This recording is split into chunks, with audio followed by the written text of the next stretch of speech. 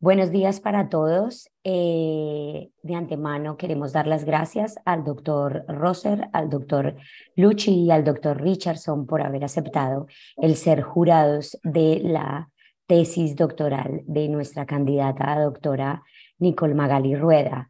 Eh, le damos la bienvenida desde el doctorado en Ciencias Biomédicas y Biológicas de la Universidad del Rosario. Sin otro particular, le damos entonces paso a la doctora Santoyo para que haga los actos protocolarios. Muy buenos días eh, para todos. Desde el doctorado en Ciencias Biomédicas y Biológicas, eh, estamos reunidos hoy, 15 de agosto de 2023, de manera virtual los miembros del jurado calificador designados para calificar el documento y la sustentación de la tesis doctoral titulada Drivers of Diversification in Heliconius with Special Focus in the Sarasapo Clade de la estudiante Nicole Magali Rueda Muñoz, su director, de tesis el doctor Camilo Andrés Salazar Clavijo, profesor titular de carrera de la Facultad de Ciencias Naturales de la Universidad del Rosario, y su codirectora, la doctora Carolina Pardo Díaz, decana de la Facultad de Ciencias Naturales de la Universidad del Rosario.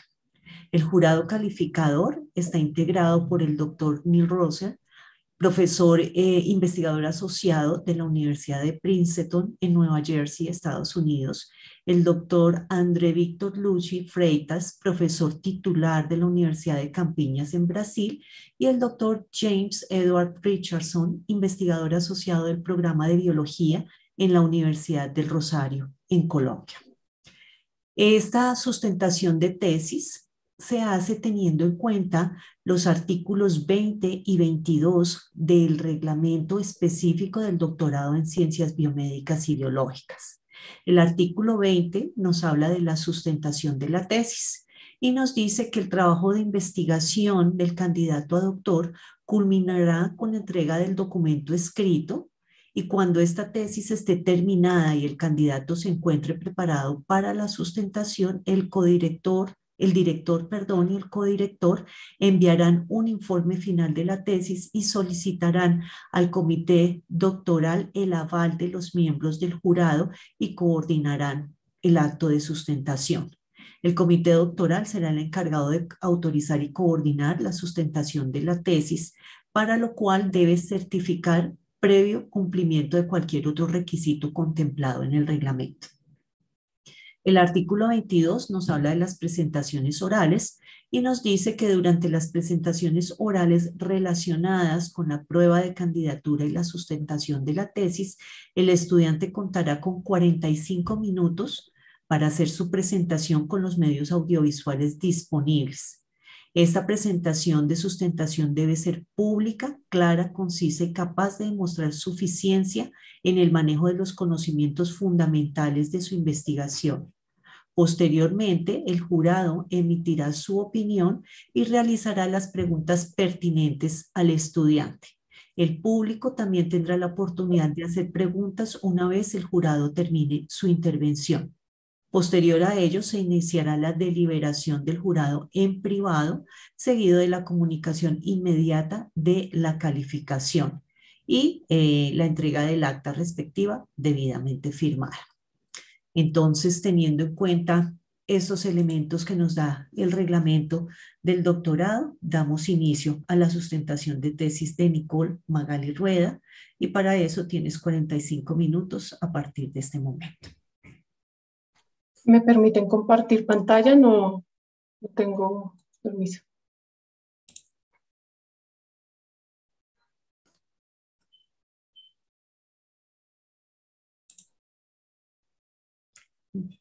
Sandra Carolina, que le permita compartir pantalla. Sí, sí, señor. Em, Mayra, tú eres la anfitriona, por favor.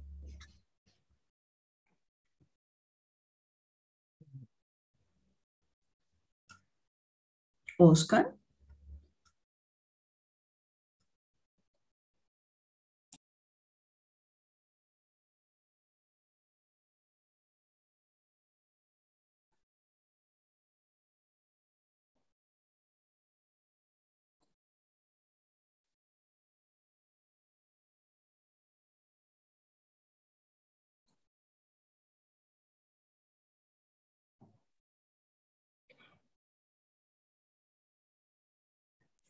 Mayra. Oscar dijo que ya estaba habilitando la... Gracias.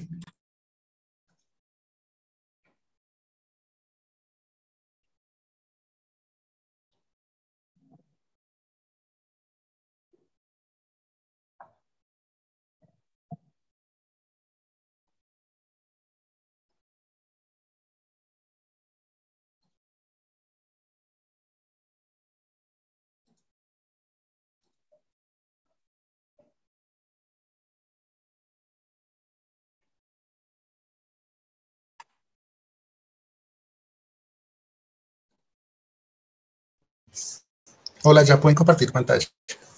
Ya, muchas gracias.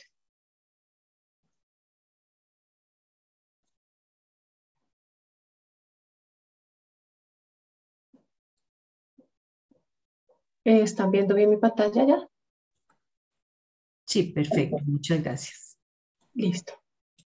Bueno, muy buenos días. Eh, mi nombre es Nicole Rueda y voy a presentarles eh, mi trabajo de tesis doctoral titulado Impulsores de la diversificación en las mariposas del género heliconius, con un especial énfasis en las, las especies del clavo sarasaf. Mi supervisor fue el doctor Camilo Salazar y la doctora Carolina Pardo.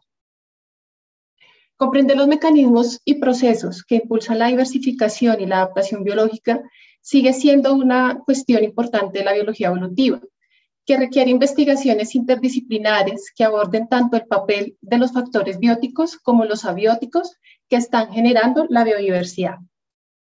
Uno de los grupos icónicos en el, neotrópico, por su amplia diversificación, son las mariposas del género Heliconius.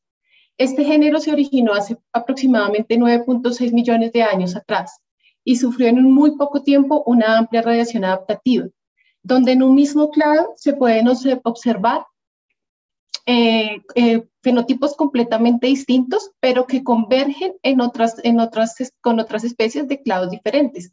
Como por ejemplo tenemos a la especie de Heliconius wallace y Heliconius ara, o Heliconius cerato y Heliconius melpomene. Eh, esta convergencia de patrones de coloración de advertencia, sumada a la presencia de toxinas en su cuerpo, ha hecho de este grupo uno de los ejemplos más claros de adaptaciones como el aposematismo y el mimetismo mulleriano. Estas mariposas obtienen su toxicidad biosintetizando sus compuestos cianogénicos o secuestrándolos de sus plantas hospederas, las pasifloras. Las 42 especies que componen este género de mariposas se encuentran distribuidas desde el sur de los Estados Unidos hasta el sur de Sudamérica y su riqueza más alta se encuentra distribuida a lo largo del flanco oriental de la cordillera oriental. Las relaciones filogenéticas de este grupo han sido profundamente estudiadas estas relaciones filogenéticas se han estudiado a nivel tanto de genes individuales como inclusive con genomas completos. Este grupo está compuesto por dos clados principales, el clado pupalmate, que se encuentra compuesto por el clado erato y el clado sarasafo, y el clado no pupalmate, que está compuesto por cinco eh, clados en particular, que son Aoede, Erato, Wallace, Melpomene y Silvaniformes. En particular, se ha puesto a especial atención a estudiar las bases genéticas de los patrones de coloración alar de estas mariposas. Y se ha encontrado que pocos loci de gran efecto controlan la mayor parte del patrón alar que encontramos en estas mariposas. Adicionalmente, se ha encontrado que estos loci han sido intercambiados entre diferentes especies, permitiendo introgresión adaptativa. A nivel genético también se conoce que la mayoría de especies del grupo de heliconios tiene 21 cromosomas. Sin embargo, hay un clado en particular, el clado sarasafo, que puede llegar hasta tener 60 cromosomas. A pasar de múltiples estudios en este grupo de mariposas, aún no es claro cómo eh, el ambiente forma la distribución de los heliconios a una escala regional cómo el ambiente influencia también la, la métrica de diversidad como eh, riqueza de especies, diversidad filogenética y endemismo filogenético. Tampoco es claro hasta el momento cuáles eran las relaciones filogenéticas entre las especies de Sarasafo, así como tampoco se conocía la extensión, de, el grado de la diferenciación genómica entre las especies de este clado y tampoco se ha investigado si el número cromosomal de este grupo era explicado por arreglos, eh, arreglos eh, cromosomales. Y por último, tampoco eh, era claro cómo las defensas químicas de este grupo de mariposas varía tanto en composición como en concentración a través de anillos miméticos y regiones neotropicales. Por lo tanto, en esta tesis yo desarrollé tres capítulos. En el primero me planteé como objetivo investigar el rol del ambiente formando la distribución y la riqueza de liconios, así como también los patrones geográficos de diversidad filogenética y endemismo filogenético. En el capítulo 2 investigué las relaciones filogenéticas de clado sarasafo a lo largo del genoma. Evalué el grado de diferenciación genémica entre sus especies y subespecies y estudié posibles arreglos, prearreglos cromosomales en la evolución de este clado. Y finalmente, en mi capítulo 3, estudié cómo los compuestos cianogénicos varían tanto en composición como en concentración a través de nueve anillos miméticos y seis ecorregiones neotropicales. De acuerdo a los resultados encontrados en mi primer capítulo, lo he titulado Impulsores ambientales de la diversificación e hibridación en las mariposas neotropicales helicones.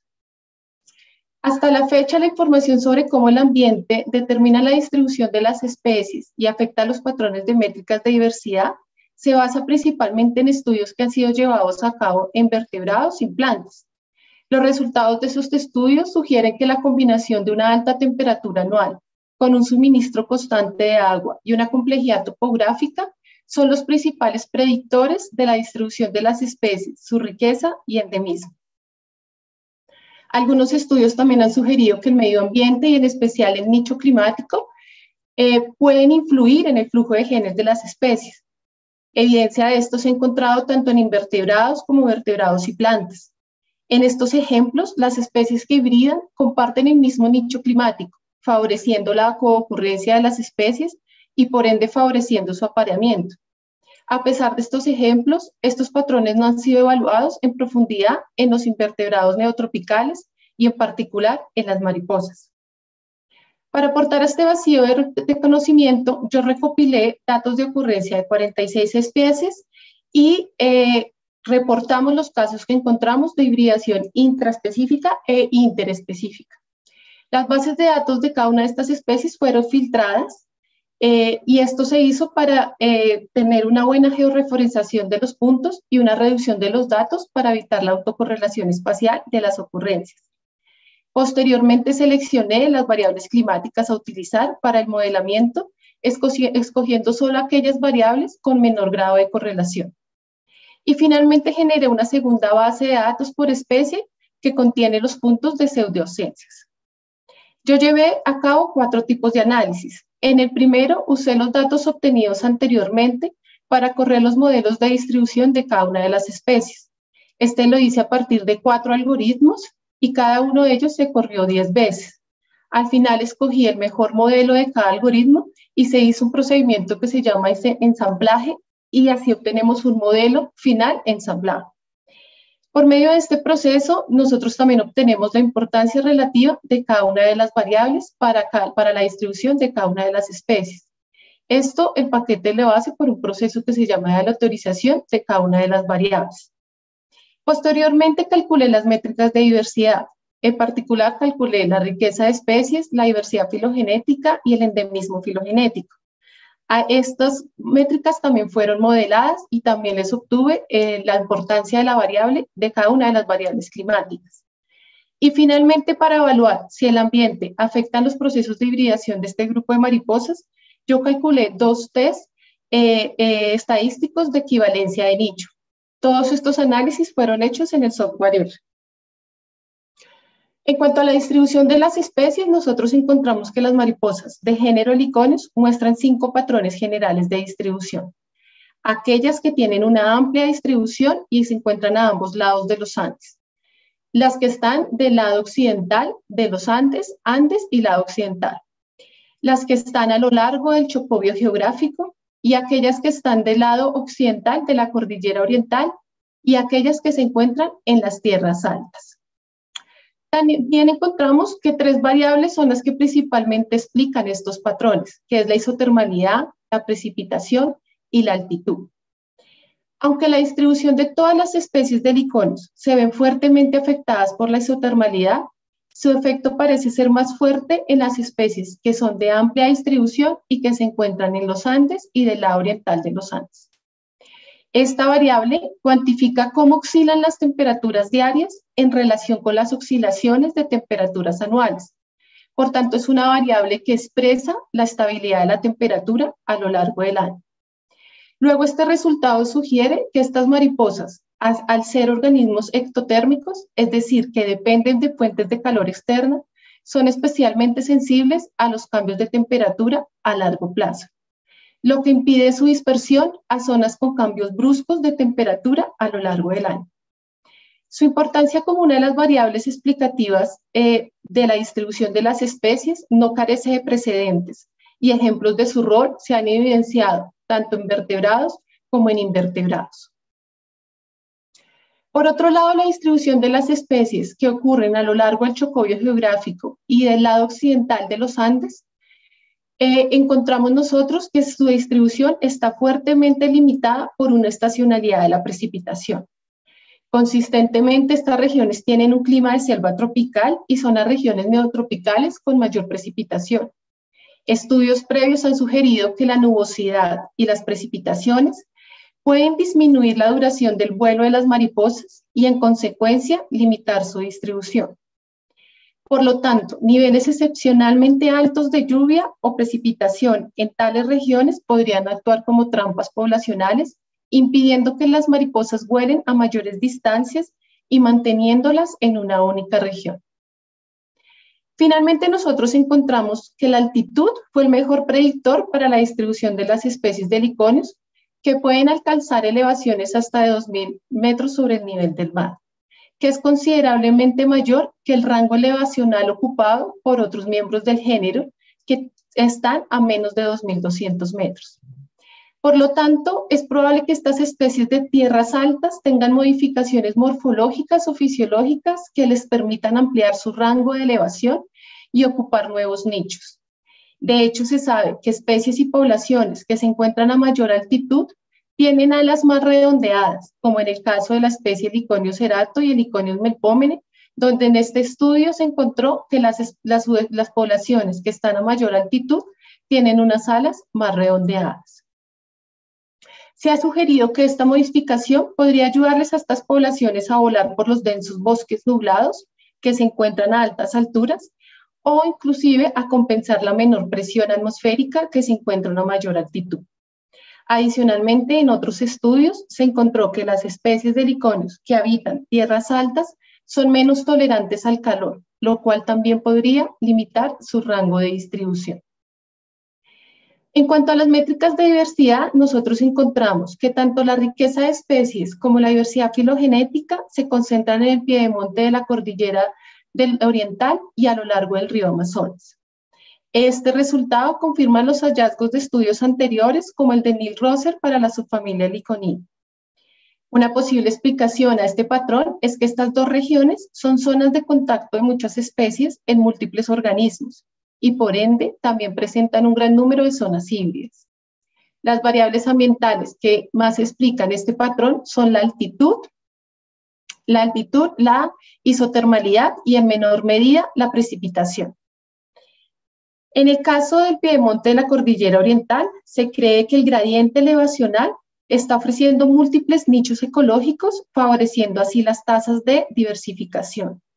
Y la alta riqueza encontrada a lo largo del río Amazonas podría ser explicada por la hipótesis de la dinámica agua y energía, la cual sostiene que la riqueza de especies aumenta en los lugares donde hay una alta cantidad de agua y unas condiciones energéticas óptimas. El mayor endemismo filogenético se encontró en los Andes, en el flanco oriental de las cordilleras orientales, en el centro de Colombia, y a lo largo de la región pacífica de Costa Rica, Panamá y Colombia. Este endemismo filogenético es el resultado de la presencia de especies que tienen un rango geográfico reducido, como por ejemplo el Iconios euripa, el Iconios hewitsoni o el Iconios godmani.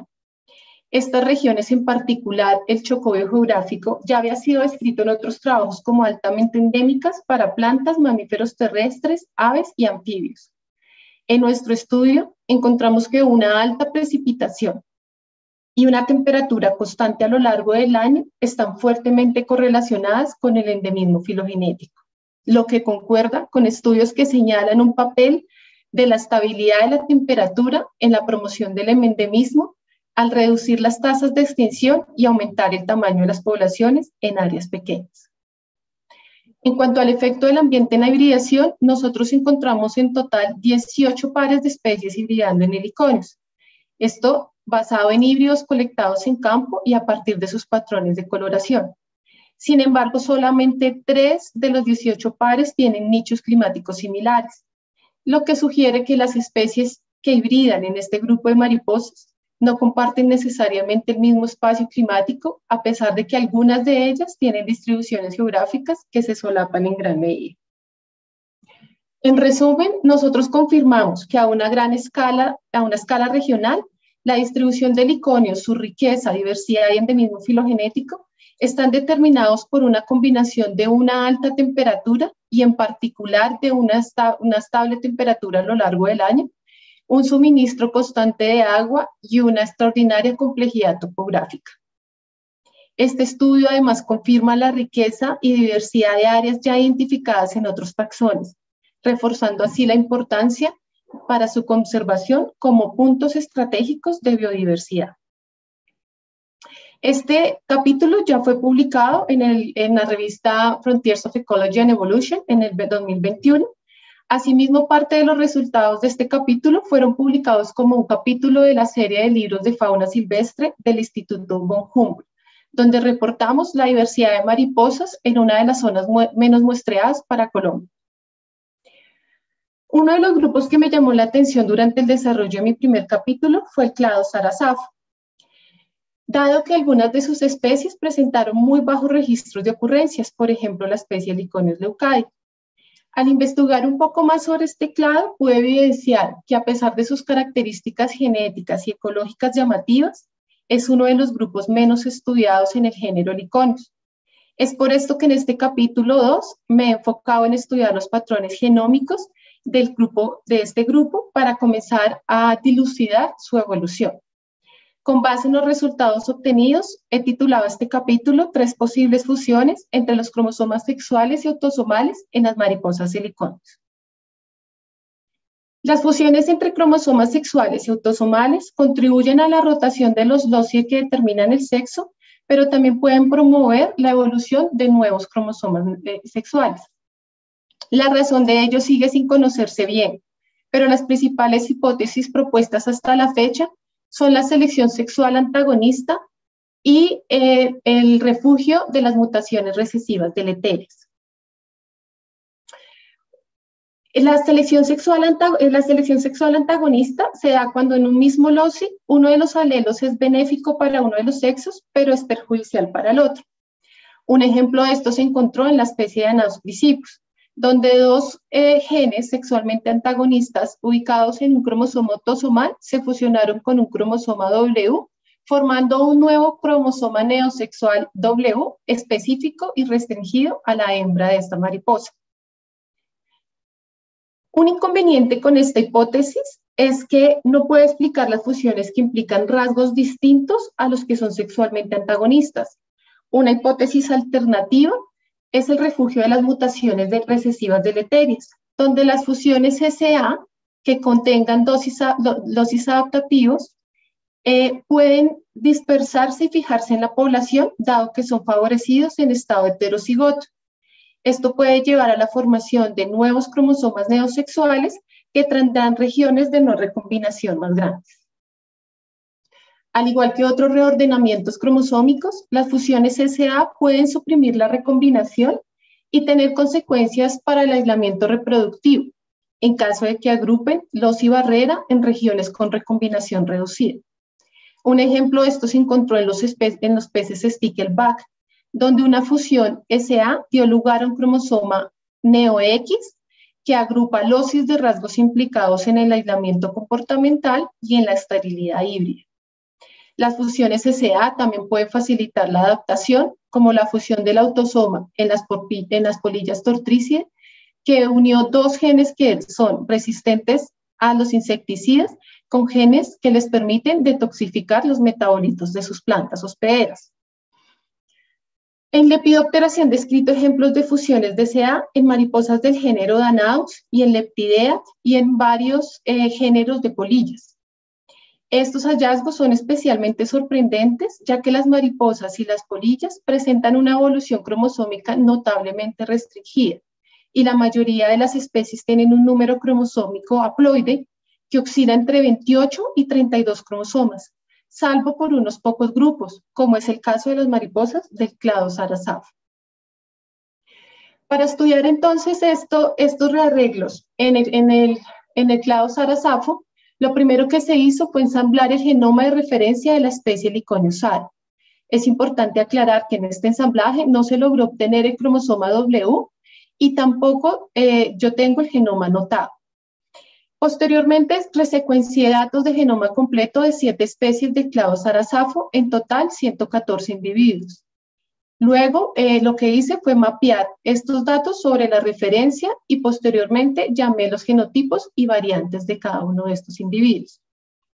Yo llevé a cabo cuatro análisis en particular. El primero de ellos fue hacer un análisis filogenético en donde corrí un árbol de máxima verosimilitud con Raxemel este lo hice para el genoma completo y por cromosoma. Por cromosoma lo hicimos para investigar eh, las, discordancias filogenéticas a lo largo del genoma. Posteriormente, estudié o investigué la estructura poblacional y la estrías compartida en este grupo. Para esto corrí un PCA por todo el genoma, para todo el genoma y por cromosoma. En el cromosoma lo hice a lo largo del cromosoma por ventanas, lo que se conoce como un local PCA. Eh, posteriormente eh, calculé los patrones de diferenciación genética y para esto utilicé dos estadísticos, el de XY y el FCT. Y finalmente calculé la heterocigosidad y el MINDET por cromosoma, por individuo, por especie y en ventanas deslizantes en cada uno de los cromosomas y cada una de las especies. El primer resultado de este capítulo es una filogenia que muestra dos clados principales un clado monofilético llamado, que yo he denominado el clado Sara, en el cual, el cual está compuesto por dos especies, la especie Liconios leucadia y la especie Liconios Sara. Un segundo clado monofilético que he denominado el clado Safo, que está compuesto por cinco especies, Heliconios antiochius, Heliconios safo y Hewitsoni, que son especies hermanas, y un subclado que está compuesto por Congener y Eluquia. El efecto topográfico que nosotros encontramos en este, en este clado es un efecto de las barreras de los Andes dividiendo las especies tanto amazónicas como andinas en la especie Liconio sara y en la especie Liconios antioquios. También fue posible evidenciar el efecto de factores abióticos como el clima en la formación de las subespecies de Liconios eluquia, en el Iconios eluquia, la especie Liconios eluquia eluquia se encuentra, eh, perdón, la especie Liconios elucino se encuentra a lo largo del chocobio geográfico en una de las zonas más húmedas del neotrópico y por el contrario, la especie Liconios primulares se encuentra a lo largo del, del chocobio geográfico, pero de Ecuador, donde las zonas son más secas. Nosotros encontramos una fuerte discordancia filogenética a lo largo del genoma. Solo ocho cromosomas recuperaron la topología del genoma completo. Cinco cromosomas, en cinco cromosomas nosotros vimos a la especie Heliconius congener variando en su posición con respecto a su especie hermana Heliconius eluquia. En algunos casos, congener aparece como una especie hermana de un clado formado por elucinos y primulares y en otros casos aparece como hermana de la subespecie Heliconius eluquia eluquia. En cuatro cromosomas nosotros encontramos a la especie Hewitsoni variando en su posición con respecto a su especie hermana, el iconio safo. Y finalmente, en cuatro cromosomas, nosotros encontramos tanto a Congener como Hewitsoni variando en su posición con respecto a sus especies hermanas. Interesantemente, nosotros observamos un agrupamiento de sexos al interior de cada una de las especies del grupo SAF. De aquí en adelante, en las figuras, he designado el color rojo para las hembras y el color azul para los hombres. Por tanto, se puede observar que en el cromosoma 4, en todas las especies del clado Safo, en, Antiochus, Safo, Hewitsonia, Lucia y Congener, ustedes pueden ver que al interior de cada una de estas especies, los individuos se agrupan por machos y por hembras, separadamente. Este mismo patrón lo observamos en las especies Heliconius safo y Heliconius hewitsoni. Y en el cromosoma 14 lo observamos para la especie Lucia y la especie Congen o Congener únicamente. Los PCA locales a lo largo de los cromosomas 4, 9 y 14 también confirmaron la agrupación por sexo que encontramos en los árboles. Este análisis de MDS resume los resultados del PCA de cada ventana. En esta gráfica, cada punto es una ventana a lo largo del cromosoma. En este, en este NMS podemos ver que tenemos dos agrupamientos, las ventanas negras y las ventanas grises. En las ventanas grises nosotros encontramos que el PCA divide a las especies aparte por sexo, es decir, vemos a los machos separados de las hembras. Y en las ventanas grises nosotros podemos observar que esta agrupación ya no se da, sino que la agrupación se va a dar por sexo, por, por especie, perdón. La especie Lucia, Lucia eh, la especie Lucia separada de la especie congénere.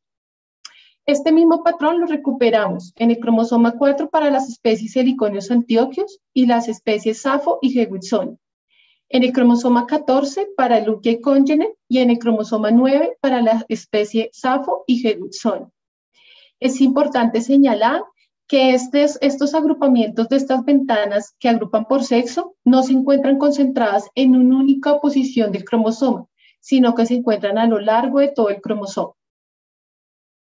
Eh, este agrupamiento sexoespecífico sugiere la existencia de haplotipos que son específicos para cada uno de los sexos, un patrón que no había sido antes reportado para el género Helicones. Debido a la estructura sexoaplotípica previamente encontrada, nosotros encontramos que el FCT del cromosoma 4, que vemos aquí en morado, se cae cuando yo hago la comparación entre las especies Safo y Helwitsoni, entre las especies Congener y Eluquia y entre las subespecies de Liconius antioquus. Asimismo, el cromosoma 9 también cae en comparación con el promedio de los del resto de cromosomas en las especies Safo y Helwitsoni y el cromosoma 14 cae en las especies Congener y Eluquia. Este patrón también se evidencia cuando corremos el FCT por ventanas. Ustedes pueden observar que la mayoría de ventanas en el cromosoma 4 y en el cromosoma 14 caen con respecto al promedio de los demás cromosomas a lo largo del genoma. La agrupación de sexos que vimos en los árboles, la agrupación de sexos que hemos confirmado con un PCA local a lo largo de los cromosomas. Y estos patrones de FCT de caída en estos cromosomas nos sugieren la existencia de una fusión entre un cromosoma autosomal y sexual. Esta fusión podría ser con el cromosoma Z o con el cromosoma W e inclusive con ambos cromosomas. Si la fusión se da con el cromosoma Z, la fusión estaría en ambos sexos, tanto en las hembras podemos ver la fusión como en, los machos. Si la fusión es con el cromosoma W, ustedes pueden evidenciar que la fusión estaría solo presente en las hembras, dado que el cromosoma W está restringido a las hembras de las mariposas de licones. En ambos casos podemos ver que uno de los cromosomas, que los cromosomas que están restringidos a la hembra, en este caso el W 4, 9 y 14, no recombinarían, dado que en los lepidópteros en las hembras no hay recombinación. Luego, estos quedarían exclusivamente restringidos a la hembra. En este caso, sería el cromosoma que no está fusionado y en el caso de la fusión con el W sería el que se encuentra fusionado. El estar restringidos a la hembra y que no haya recombinación daría como resultado que se acumulen mutaciones y variantes estructurales. Yo las he representado en esta figura como puntos rojos. Esto haría que estos cromosomas se vuelvan muy diferentes del cromosoma que se encuentra fusionado en el caso de la fusión Z. Esta divergencia sería tanto de su cromosoma eh, homólogo que está fusionado, así como también del genoma de referencia de la especie heliconosal. Lo mismo pasaría en el caso de la fusión W. El cromosoma que se encuentra fusionado con el W estaría restringido, acumularía mutaciones y variantes estructurales y por tanto va a divergir tanto de los cromosomas, del cromosoma que no está fusionado como del de, los, de los cromosomas 4, 9 y 14 que se encuentran en el genoma de referencia del iconusal.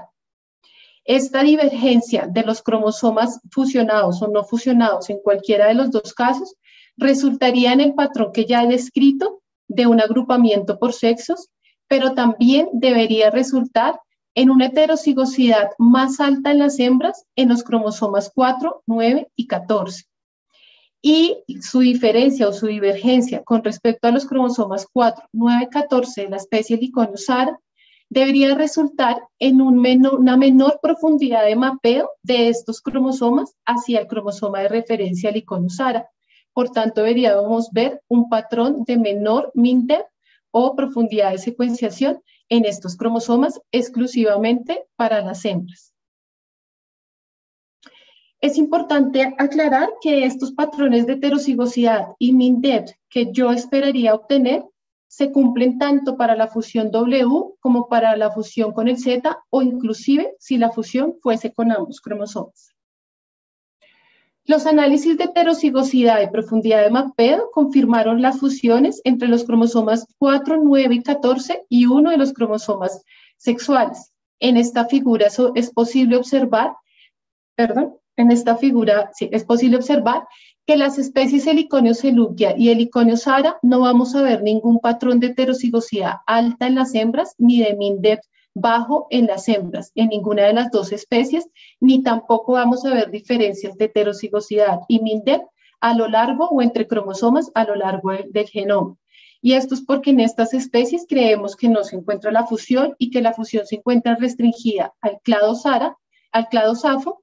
En este caso, en el cromosoma 4 para todas las especies, ustedes pueden observar que en el cromosoma 4 tenemos una heterocigosidad alta exclusivamente en las hembras, a diferencia con los machos, y un MINDEP o una profundidad de secuenciación que cae en este cromosoma. Eso se cumple tanto para la especie Heliconius antiochus como para la especie Heliconius hewitsoni, Heliconius safo, Heliconius selucia y congener. Eh, esto pues nos hace, esto, este resultado sugiere que esta fusión surgió en el ancestro de estas cinco especies, ¿cierto? Y que uno de los cromosomas homólogos del 4, eh, en particular el 4, presenta una fuerte degeneración y por tanto no, no mapea contra el genoma de referencia de iconosar. Un patrón similar se observó en el cromosoma 9, ¿cierto? Eh, una heterocigosidad alta para las hembras, un MINDEP ligeramente inferior para, los, para las hembras, y esto lo vimos en tanto en el iconio safo eh, y en el hewitsoni. Esto sugiere que esta fusión es más reciente, que solo se encuentra en estas especies, y el que la profundidad de secuenciación no sea tan diferente con respecto a los machos es lo que nos dice que no ha pasado el suficiente tiempo para que este cromosoma 9 esté lo completamente degenerado como para que no mapee lo suficiente al safo y eso nos sugiere que esta fusión es mucho más reciente. Este mismo patrón lo encontramos en el cromosoma 14 para la especie Heliconius celucia y Heliconius congener. También sugiere que es una fusión exclusivamente de estas dos especies y que es una fusión más reciente con respecto a la fusión en el cromosoma 4. De acuerdo a estos resultados, yo he llegado a la conclusión de que al menos tres fusiones entre cromosomas autosomales y sexuales han ocurrido en el clado Sarasado. Sin embargo, continúo investigando si la fusión es con el cromosoma ZW ambos. Para resolver esta pregunta, estoy mapeando datos de HiC que hemos obtenido recientemente de estas especies contra el genoma de referencia de Liconio charitoni, ya que este sí tiene ensamblado el cromosoma W y esto me permitiría confirmar con qué cromosoma es la fusión. Aunque en este momento no conozco las fuerzas que impulsaron estas fusiones o su papel, si lo tienen, en la especiación adaptación de este clado, yo hipotetizo que estas fusiones pueden haber contribuido a los primeros eventos de especiación en el clado Sarasafo al darse en puntos de diversificación de las especies en este grupo. Este, eh, este capítulo está disponible en este momento como un preprint en bioRxiv y está sometido a la revista Plot Genetics, donde estamos haciendo las correcciones para una segunda ronda de evaluaciones. Una de las características ecológicas más llamativas de clado sarasafo es la forma aparentemente diferencial de obtener sus compuestos cianogénicos con respecto al resto de las especies de liconios. Este clado parece depender de la secuestración de su toxicidad a partir de las plantas hospederas. Teniendo en cuenta esto, en este tercer capítulo, yo quise estudiar la variación geográfica de este clado y compararla con todo el género Heliconius. Al hacer esto, pude también comprobar el rol de los anillos miméticos y las ecorregiones en la variación de la toxicidad en Heliconius. Aunque la variación en diferentes tipos de defensa, como por ejemplo un contenido alcaloide en las ranas o los glucósidos cianogénicos en las mariposas heliconios, ha sido documentada en algunos grupos, la ubicuidad de estos resultados al comparar entre y dentro de diferentes comunidades aposemáticas y miméticas a lo largo de regiones neotropicales diferentes aún siguen sin estudiarse. Dado que el género Heliconius me permite estudiar las variaciones en toxicidad geográficas asociadas a diferentes anillos miméticos de una misma especie, esto, eh, para eh, esto no se había estudiado antes y el género Heliconius nos permite dar respuesta a esta pregunta. Para esto yo colecté 240 individuos de 20 especies diferentes distribuidas en 13 localidades de Colombia y 6 ecorregiones del neotrópico e incluí nueve anillos miméticos con el objetivo de comparar la toxicidad del clado sarasafo con el resto de las especies, intenté incluir individuos de este grupo en todas las localidades donde me fue posible. Las muestras fueron preservadas inmediatamente, inmediatamente colectadas en metanol para preservar las toxinas y los extractos de estos individuos fueron analizados con cromatografía líquida y espectrofotometría de masas y los datos obtenidos de este proceso fueron analizados en el software Brooker Data Analysis de Compass. Para los análisis yo dividí los datos en dos sets. El primero contiene los valores totales de compuestos cianogénicos y el segundo tiene el perfil cianogénico como tal. Posteriormente, eh, utilicé la base de datos totales y quise estudiar si había diferencias en las medias entre las especies en general en heliconios, entre especies que son simpáticas, entre especies de pares miméticos y dentro de las especies, es decir, a lo largo de un gradiente geográfico. Esto lo hice con una prueba de Crustal Wallis seguida por diferentes análisis post-hoc. Posteriormente quise estudiar si había o investigar si habían diferencias eh, entre el, en el perfil químico, nuevamente entre las especies, entre especies simpátricas, pares miméticos y dentro de las especies. Y esto lo hice llevando a cabo un análisis de Permanova y estadísticos posteriores post-hoc. Para investigar si el, si el, perfil cianogénico de este grupo de mariposas se encuentra explicada por sus relaciones filogenéticas, yo calculé la señal filogenética en de, este, de este perfil por medio de una filomanova.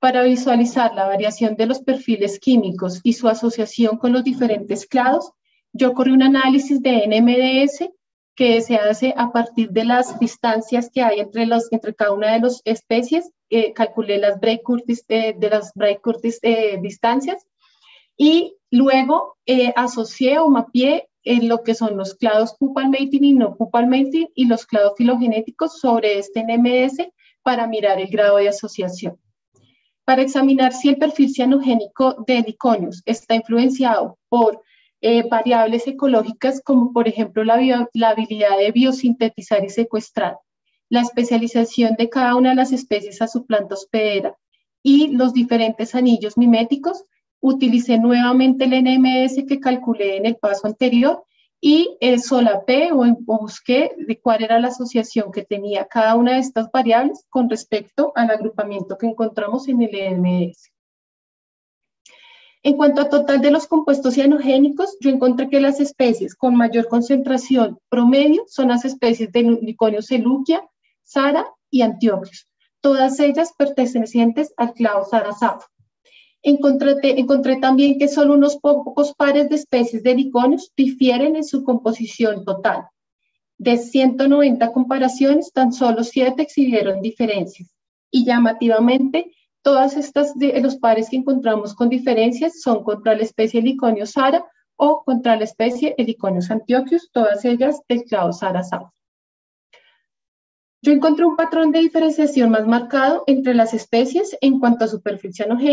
Aproximadamente el 40% de las comparaciones entre las especies, de especies fueron significativamente diferentes y de ese 40% de pares de especies que mostraron diferencias significativas, el 66% incluyó una especie del clado Sarasaf. Este clado se caracteriza por tener mayores concentraciones de eh, compuestos que son de origen secuestrado en comparación con lo que son los biosintetizados. Este patrón es contrario a otros clados donde las especies parecen priorizar la biosíntesis eh, sobre la secuestración, con excepción de la especie Liconio saoede, la cual, al igual que Liconio sarasafo, tiene bastante epivolquenin, un compuesto de origen secuestrado. La mayoría de las especies simpátricas miméticas y no miméticas fueron similares en el total cianogénico, excepto por unos pocos pares de especies simpátricas en las localidades de Buenaventura, Valle del Cauca, Meta y en Pedrera, Amazonas. Y en Guaviare fue, el único sitio donde encontramos diferencias significativas entre pares miméticos, en particular entre la especie Liconio cerato y el Liconio melpomene en el anillo mimético de Red Band. Este hallazgo sugiere la existencia de relaciones mutualistas entre liconios miméticos y simpátricos al contribuir por igual al aprendizaje asociativo de los depredadores. Aunque se observó un número mayor de pares simpátricos que se diferencian significativamente en cuanto al perfil cianogénico, nuevamente el único par mimético que muestra diferencias significativas son las especies Heliconio cerato y melpómene en Meta y Guaviare en el anillo eh, Red Band y las especies de Liconocerato y Melpómene en el anillo Dennis Rey en el Amazonas. En concordancia con estos resultados, un estudio experimental con aves domésticas mostró que la variación en el aprendizaje de evitación de estas aves hacia la toxicidad de algunas especies de heliconios es relativamente similar entre sus especies, a excepción de la especie Heliconio cerato. Al parecer, los niveles de toxicidad de esta especie generan un aprendizaje de evitación más lento que el resto de las especies miméticas de los anillos postmanidenis. En este estudio, además, sugiere que siempre que cada una de las especies en un anillo mimético tenga un contenido mayor a 2 microgramos por milogramo, esto no debería impedir el aprendizaje local de los depredadores. Dado que el 96% de los individuos que yo analicé en este estudio tenían concentraciones de cianógenos superiores a este valor, se podría afirmar que a pesar de una variación entre especies, subespecies y anillos miméticos en heliconios, su toxicidad parece ser suficiente para asegurar su protección individual. Nosotros encontramos una mayor variación tanto en el total como en el perfil cianogénico en cuando comparamos diferentes poblaciones geográficas. Esto se evidenció principalmente en la especie Heliconio sara, Heliconio cerato y Heliconio melpome.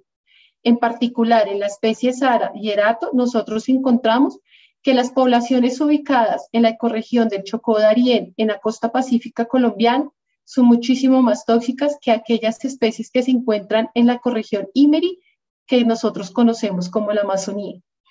Y la especie Liconios melpomene también fue mucho más tóxica en la ecorregión sabana que en la, en la ecorregión IMERI.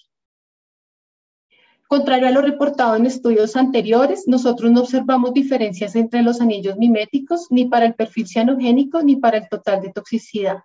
El ejemplo, el ejemplo más notable de esto es la especie Liconio signo, una especie que ustedes pueden ver que participa en tres anillos miméticos diferentes y que no tiene diferencias ni en su total de toxicidad ni en su perfil cianogénico. Las diferencias encontradas hasta el momento no se mantuvieron cuando la filogenia se tuvo en cuenta, sugiriendo que las relaciones filogenéticas tienen una gran influencia en la variación de los perfiles cianogénicos de este grupo de mariposas. Particularmente la división entre los clados pupal mating y no pupal mating parecen tener una fuerte influencia en la variación de la toxicidad. En este NMS nos permite observar cómo los individuos que conforman el clado no pupal mating, en morado en esta gráfica, se parecen sus perfiles cianogénicos más entre sí que con aquellos que son del clado pupal mating. Tan solo unos pocos individuos del no pupal mating tienen componentes secuestrados y se parecen más a los que son del clado pupal es importante señalar que no pupal mating se caracteriza por compuestos principalmente de carácter biosintetizado. En este otro NMS podemos ver un patrón similar, donde las especies de los clados silvaniforme, melpomen y aceitoris, que son no pupalmating, se agrupan del lado derecho y sus compuestos superficie anogénico es más similar entre ellos que con aquellos que se encuentran del lado izquierdo, que son las especies de clado sara safo y las especies de liconio cerato. Podemos ver cómo el liconio cerato, muchos individuos y de sara se encuentran en la mitad de este NMDS. Esto indica que estos grupos de mariposas tanto biosintetizan como secuestran sus compuestos cianogénicos. A diferencia de otros estudios o de los estudios anteriores, eh, ellos reportaban que el, clado sarasafo no contenía compuestos eh, que fueran de origen eh, biosintetizado, sino únicamente secuestrado. Pero nosotros podemos observar acá, en, los cuadros naranja, que muchos individuos de, estos, de este clado sarasafo también están compuestos por clados biosintetizados. Es importante señalar que además de la influencia de la filogenia, hay otras adaptaciones ecológicas que parecen tener una fuerte asociación con el perfil cianogénico de los individuos de estas mariposas. Por ejemplo, los individuos que son especialistas del, subgénero de, plantas pasiflora, subgénero pasiflora, son diferentes en su composición o en su perfil cianogénico con respecto a aquellas especies que consumen tanto del subgénero de caloba como del subgénero astrofero. Nuevamente, este, este, estas especies del género pasiflora son aquellas que están del lado derecho, que podrían ser, que son los mismos individuos que pertenecen al clado pupalmating, no pupalmating, perdón, y que son muy diferentes de lo que son los clados cerato y sarasafo que componen el clado pupalmating. Esta característica conlleva también a que haya diferencias entre las especies que solo sintetizan sus compuestos cianogénicos, que son las que encontramos nuevamente al lado derecho del no pupalmating, con respecto a aquellas especies que pueden secuestrar o hacer ambas cosas. Eh, en resumen, mis resultados sugieren que, que hay relaciones mutualistas eh, perdón, que hay una poca variación dentro de las comunidades miméticas y simpátricas, y, pero que hay una gran variación o una variación significativa entre las comunidades eh, a lo largo geográficas. Las relaciones mutualistas eh, tienen unas excepciones, como es en el caso de las especies Heliconius sarasafo, donde encontramos que este grupo fue mucho más tóxico que los demás individuos. Esto también nosotros lo que encontramos es que estas especies, además de secuestrar, también tienen compuestos sintetizados en sus perfiles cianogénicos que pueden ser explicados porque efectivamente este grupo no haya perdido la habilidad de biosintetizar los compuestos o porque esté secuestrando compuestos que son de origen biosintetizado, como linamarina y lutastrolina, de sus plantas hospederas, como ya ha sido reportado en la poderilla cigaena e inclusive en la especie Liconium merpome. La variación significativa que encontramos a lo largo geográfico puede deberse a la diversidad de las plantas hospederas en cada una de las localidades geográficas, también como a la disponibilidad de las plantas recurso de polen o a la comunidad local de predadores que encontramos en cada una de estas comunidades. Este capítulo se encuentra eh, listo para someterlo y eh, lo estaremos haciendo en los próximos meses. En esta tesis he presentado pruebas que contribuyen a nuestra comprensión de los impulsores abióticos y bióticos de la diversificación animal. Para ello se ha utilizado una combinación de herramientas biogeográficas, genómicas y químicas en las mariposas en licones. En primer lugar, concluyo que la isotermalidad, las precipitaciones y la topografía, son los factores abióticos que más influencian los patrones de distribución de riqueza de especies y de diversidad filogenética y endemismo filogenético de este grupo de mariposas. la similitud de nicho, por otra parte, no parece promover la hibridación de estas mariposas, lo que significa que otros factores como la distancia genética pueden tener un papel más importante en este proceso. En segundo lugar, he descubierto que reordenamientos cromosómicos como las funciones pueden estar implicados en eventos de especiación de Clausara-Safo y por tanto ser uno de los factores bióticos que promueven la diversificación de liconos. Y en tercer lugar, encontré que la variación en la toxicidad cianogénica no es un factor biótico que contribuye a la diversificación de liconos. Mis resultados son consistentes con el mutualismo entre todas las especies simpátricas de liconos. Cada capítulo de mi tesis ha abierto nuevas vías de investigación en las que seguiré trabajando en un futuro inmediato con la ayuda de mis colegas. Dado que la distribución y diversidad de heliconios puede estar determinada por la distribución y diversidad de sus plantas hospederas pasiflora, se hace importante modelar la distribución de estas plantas y estudiar su coevolución espacial con las mariposas heliconios. Esto lo está haciendo en este momento Catalina Sánchez, a quien co-supervisé en su tesis de pregrado y ahora de maestría. En segundo lugar, como los datos del capítulo 2 no me permitieron descifrar si los autosomas 4, 9 y 14 están fusionados con el cromosoma Z o el W ambos, estamos generando también genomas de referencia completos de las subespecies y subespecies de este clado para responder a esta pregunta e seguir investigando la evolución cromosomal en este grupo. Esto lo llevaré a cabo como postdoc en el Sanger Institute en el grupo de Joanna May. Finalmente, el patrón de coloración alar y la toxicidad siempre se han estudiado por separado en heliconos, pero la relación de estos dos rasgos no se ha abordado simultáneamente desde una perspectiva cuantitativa. Durante mi doctorado obtuve también las medidas de reflectancia en todos los parches de color de las alas de todos los individuos, incluidos en análisis de toxicidad, que incluí en el capítulo 3. Por esto, estos datos están disponibles para su análisis y probar si los contrastes de color y brillo varían geográficamente y si esta es una señal honesta. No tenemos un estudiante en el momento encargado de estos datos. Cualquier interesado puede escribir tanto al correo mío como al correo de mi director, Camilo Salazar. Finalmente, pues quiero agradecer a la Universidad de Rosario y a mi ciencia por el apoyo económico que me brindaron para el desarrollo de este proyecto. Por supuesto, este trabajo no habría sido posible sin la supervisión del doctor Camilo Salazar y la doctora Carolina Pardo. A ellos agradezco sus innumerables enseñanzas y por propiciar increíbles experiencias académicas y de campo. Gracias además por haber abierto nuevas puertas en el campo de la ciencia. Quiero agradecer al doctor Chris Jiggins y a la doctora Joanna Meyer por la supervisión de mi trabajo durante la pasantía en la Universidad de Cambridge. En particular, quiero agradecer a Joanna Meyer por acompañarme en mis primeros pasos en el campo de la genómica.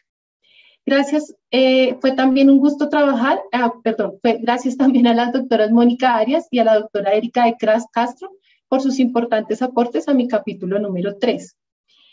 Y pues fue un gusto trabajar con mis compañeros e integrantes que algunos ya se fueron o han pasado por aquí de mi grupo de investigación en la Universidad Rosario de Genética Evolutiva.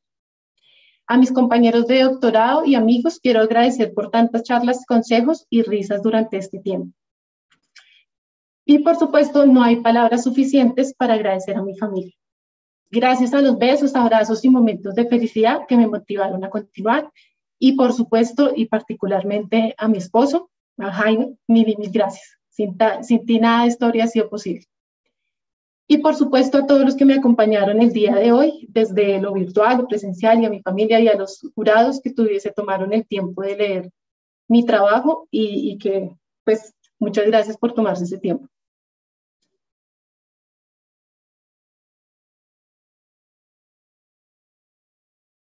Mil gracias, Nicole. Bueno, habiendo terminado entonces la presentación de Nicole, damos paso a la intervención por parte de los jurados. Eh, no tenemos en este momento un orden preestablecido. No sé si alguno de nuestros jurados quiere eh, iniciar.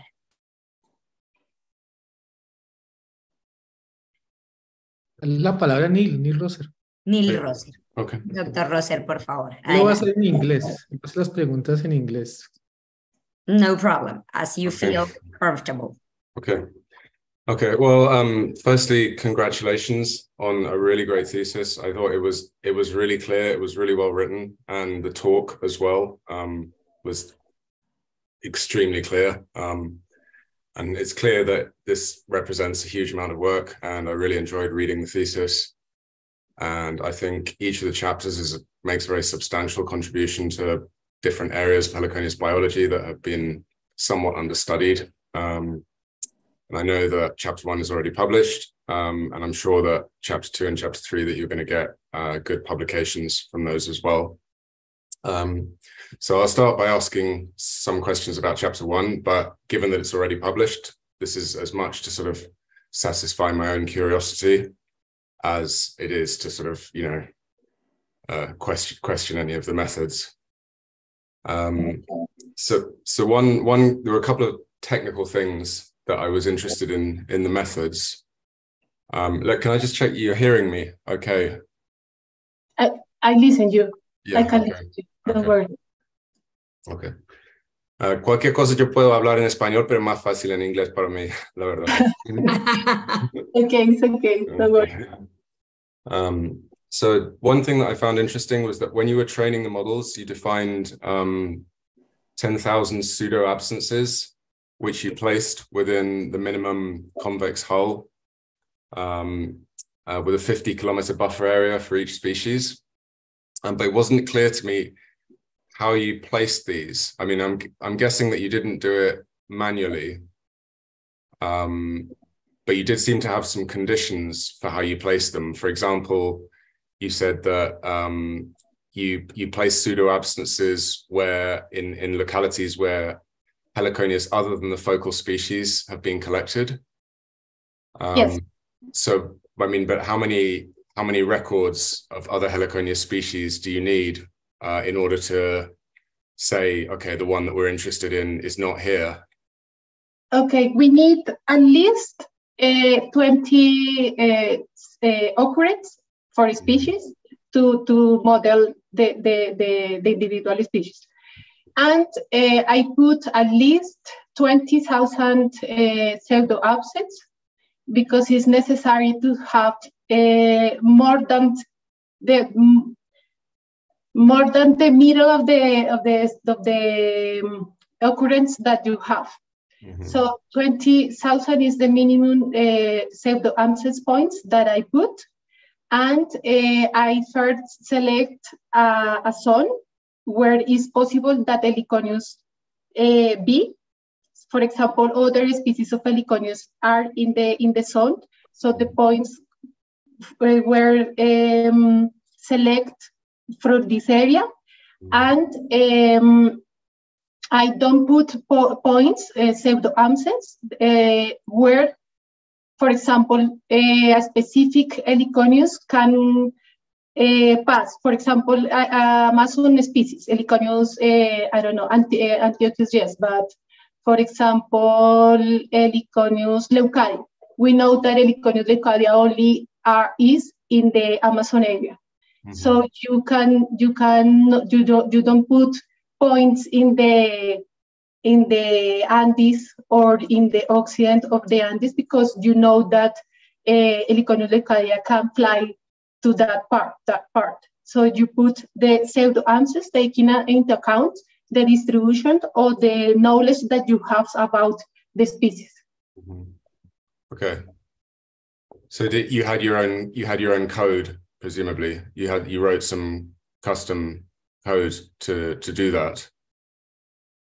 Uh, the, yes, I, I did like um, I, I have to try uh, many options to put the pseudo absence, but I select manually. I use QGIS to put the, the different points in, in the in the areas where I know that is the, the where I know that Heliconius is not there. Okay.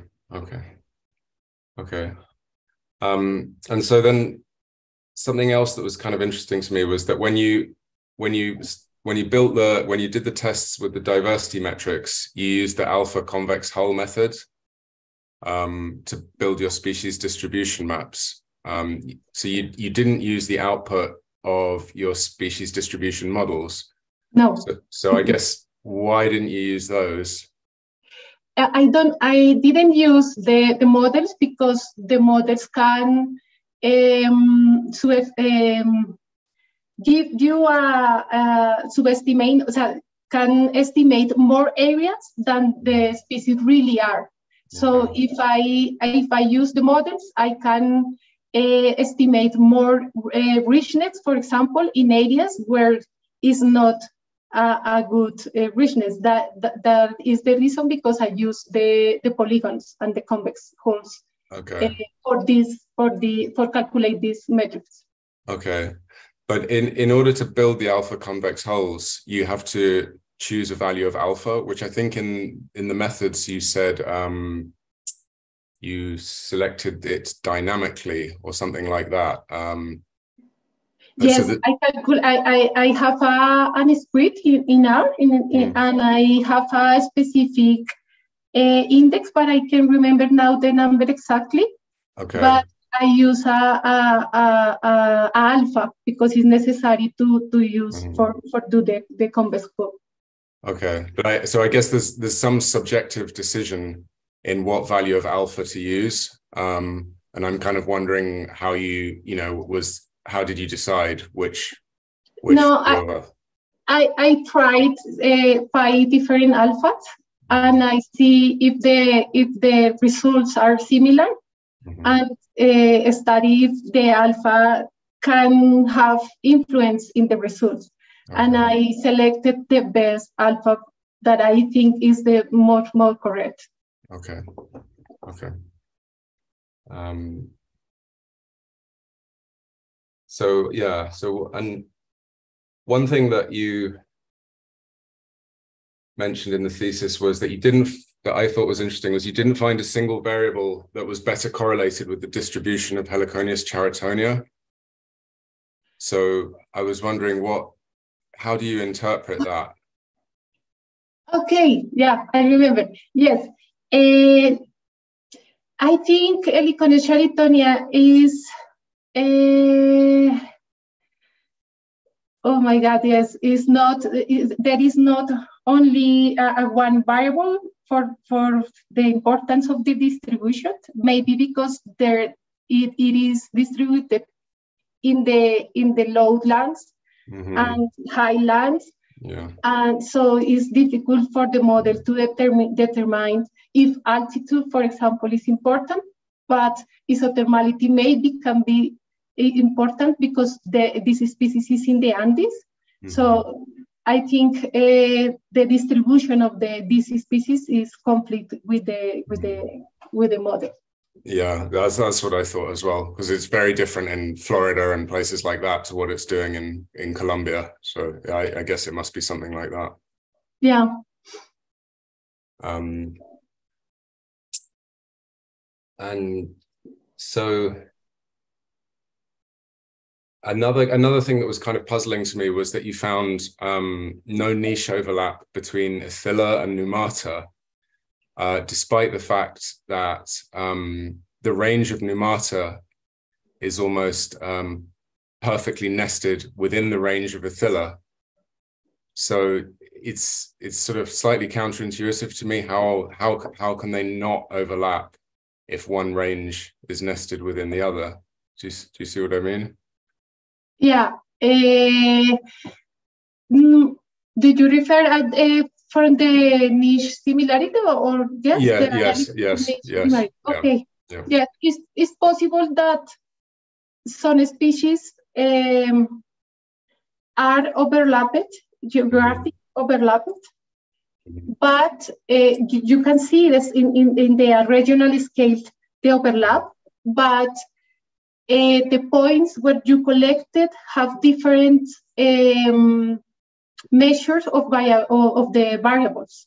For Mhm. example, you, you can see that they are in the same places, but maybe uh, they are um, uh, spatially distributed different in the in the in the forests, for Mhm. example, and Mhm. they for uh, if maybe Heliconius numata is in the uh, open forest, but the tila is more in the in the in the forest. Mhm. Uh, the, the, the, the, the, the temperature is different and they differ in the niche, uh, uh, cl- climatic niche. Yeah. So it, it can be possible, not necessarily that those, those two species that are distributed in the same regions not necessarily have the same climatic niche. Mhm. Yeah, okay. I think so. I, to me, it's surprising that you could detect an effect like that using this analysis, but I do think that sounds very plausible for Athila and Numata, because at least in my experience, um, for example, in Peru, uh, you find Athila in quite different places to where you find Numata. Um, so, yeah, I, I could I could believe it as an explanation, but it's surprising that you you can detect it. So. Yeah. Uh, so I guess I think I've got 20 minutes for questions. Is that correct? We have plenty of time, Dr. Rosser, so don't worry. Oh, okay. okay. So, well, so um, I don't want to spend too much time on this chapter because it is already published, but there's, I mean, there's lots of interesting things in it, lots of interesting things for me to ask you about. So maybe I can save some of them for some other time. Um, uh, but I, I guess one interesting thing was that I felt you didn't really explain was exactly what phylogenetic endemism is and why is it an interesting thing to map? Like what does what does finding high phylogenetic endemism uh, imply? Yes, the we I I ran an analysis that can cal calculate the endemism based based on the range of easy species. Mm -hmm. uh, so in this case, you can see that Euripa uh, is concentrated in a in a small uh, range in in the in the um, in the oriental in the east of the of the Andes, and uh, the other species is Heliconius hewinsoni and Heliconius godmani, uh, godmani. All of them are in, in concentrate in a specific place in the neotropic. And the other thing that this analysis take into account is the is if, for example, uh, one of these species could have a, a sister pair of species that are who are who, which are um, uh, or has a wide range of distribution, the genetic information of these species are also distributed uh, uh, more. So in these cases, in this case, for example, Heliconius euripa in the phylogenetic tree that I use, uh, which is the Cossack uh, phylogenetic tree, don't have a, a, a sister species. Mm -hmm. So, so the technically the, the genetic information of this species is not distributed in the neotropic because it don't have a, a, a, specific sister species. So in these cases, that is the reason because within is a, a phylogenetic endosym. It is not only the, the small range, but we have to take into account the genetic information. If some of these species could have um, a, spe a, a species pair, pair species that are distributed more in the neotropic is not a phylogenetic endosym. Okay, but but why why what are the sort of biogeographic implications or, what what is it telling us about biogeography in the neotropics or, or the evolutionary history of the bio of of the neotropics if we find these species which are high phylogenetic um, endemics? I mean, does it say does it say anything about speciation or, or... I it's important to the to the conservation too because uh, we have um, a, an, inform, an phylogenetic information that is not in other places. And if, for example, uh, something happened in these places and the biodiversity loss.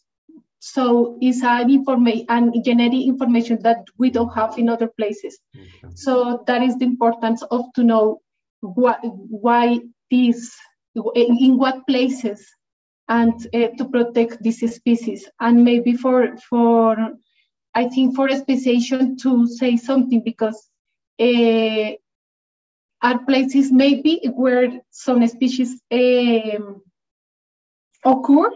And uh, maybe in the, in the case of the euripa, uh, two species, Melpomene and Cygnot, uh, get together in a places and uh, reproduce and produce and, an, an hybrid species or something like that. It's, it's like a new uh, species that maybe uh, are only in these places because don't have the opportunity to spread in other in other mm-hmm. uh, regions in the neotropic. And the same, for example, with Godmani. God Money have um, many discussions taxonomic uh, because it's not clear uh, if the is, is God, if Godmani is near to to to metarme is is is a generic information that is difficult to put or to know what is the relation between the between the Lyconius tree. Mm-hmm. Okay. Okay, and then I, I, yeah, I'll, I'll just ask one more thing about this chapter, and that's um, so the the correlation with isothermality um, is seems very strong, and you said that all species are somewhat affected by it, um, but it's still kind of not clear to me what exactly it is about isothermality that limits the species distributions? Because I think in your models, you also have um, temperature of the coldest month or temperature of the coldest quarter. So I would have thought that it would be that would be what was limiting the distribution of the widespread species and preventing them from spreading further south or further north, um, rather than isothermality per se. So is there um what what's your intuition as to why why it why it prevents uh, species from expanding? The, uh, the isothermality is a is a um, variable that take into account not only the temperature in the during the month, if not during the during the year. For example, in the Andes, we have, uh, for example, in Bogota is the is the perfect example. In Bogota, we have a uh, at the beginning of the day temperature of four degrees. But in the middle of the day, we have 21, 22, or 23 degrees. We have a, a, a wide range of temperature. Mm-hmm. And but we our temperatures during the year are very stable. So mm-hmm. we don't have uh, many changes uh, in the January respect to the October, for example.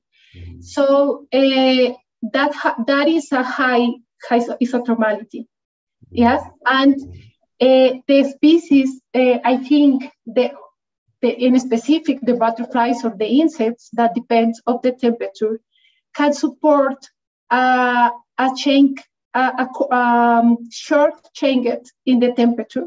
For example, uh, during the day can change the temperature and they can resist maybe these kinds of changes in, in temperature, but don't can don't, don't um, can, can't support a long changes of temperature.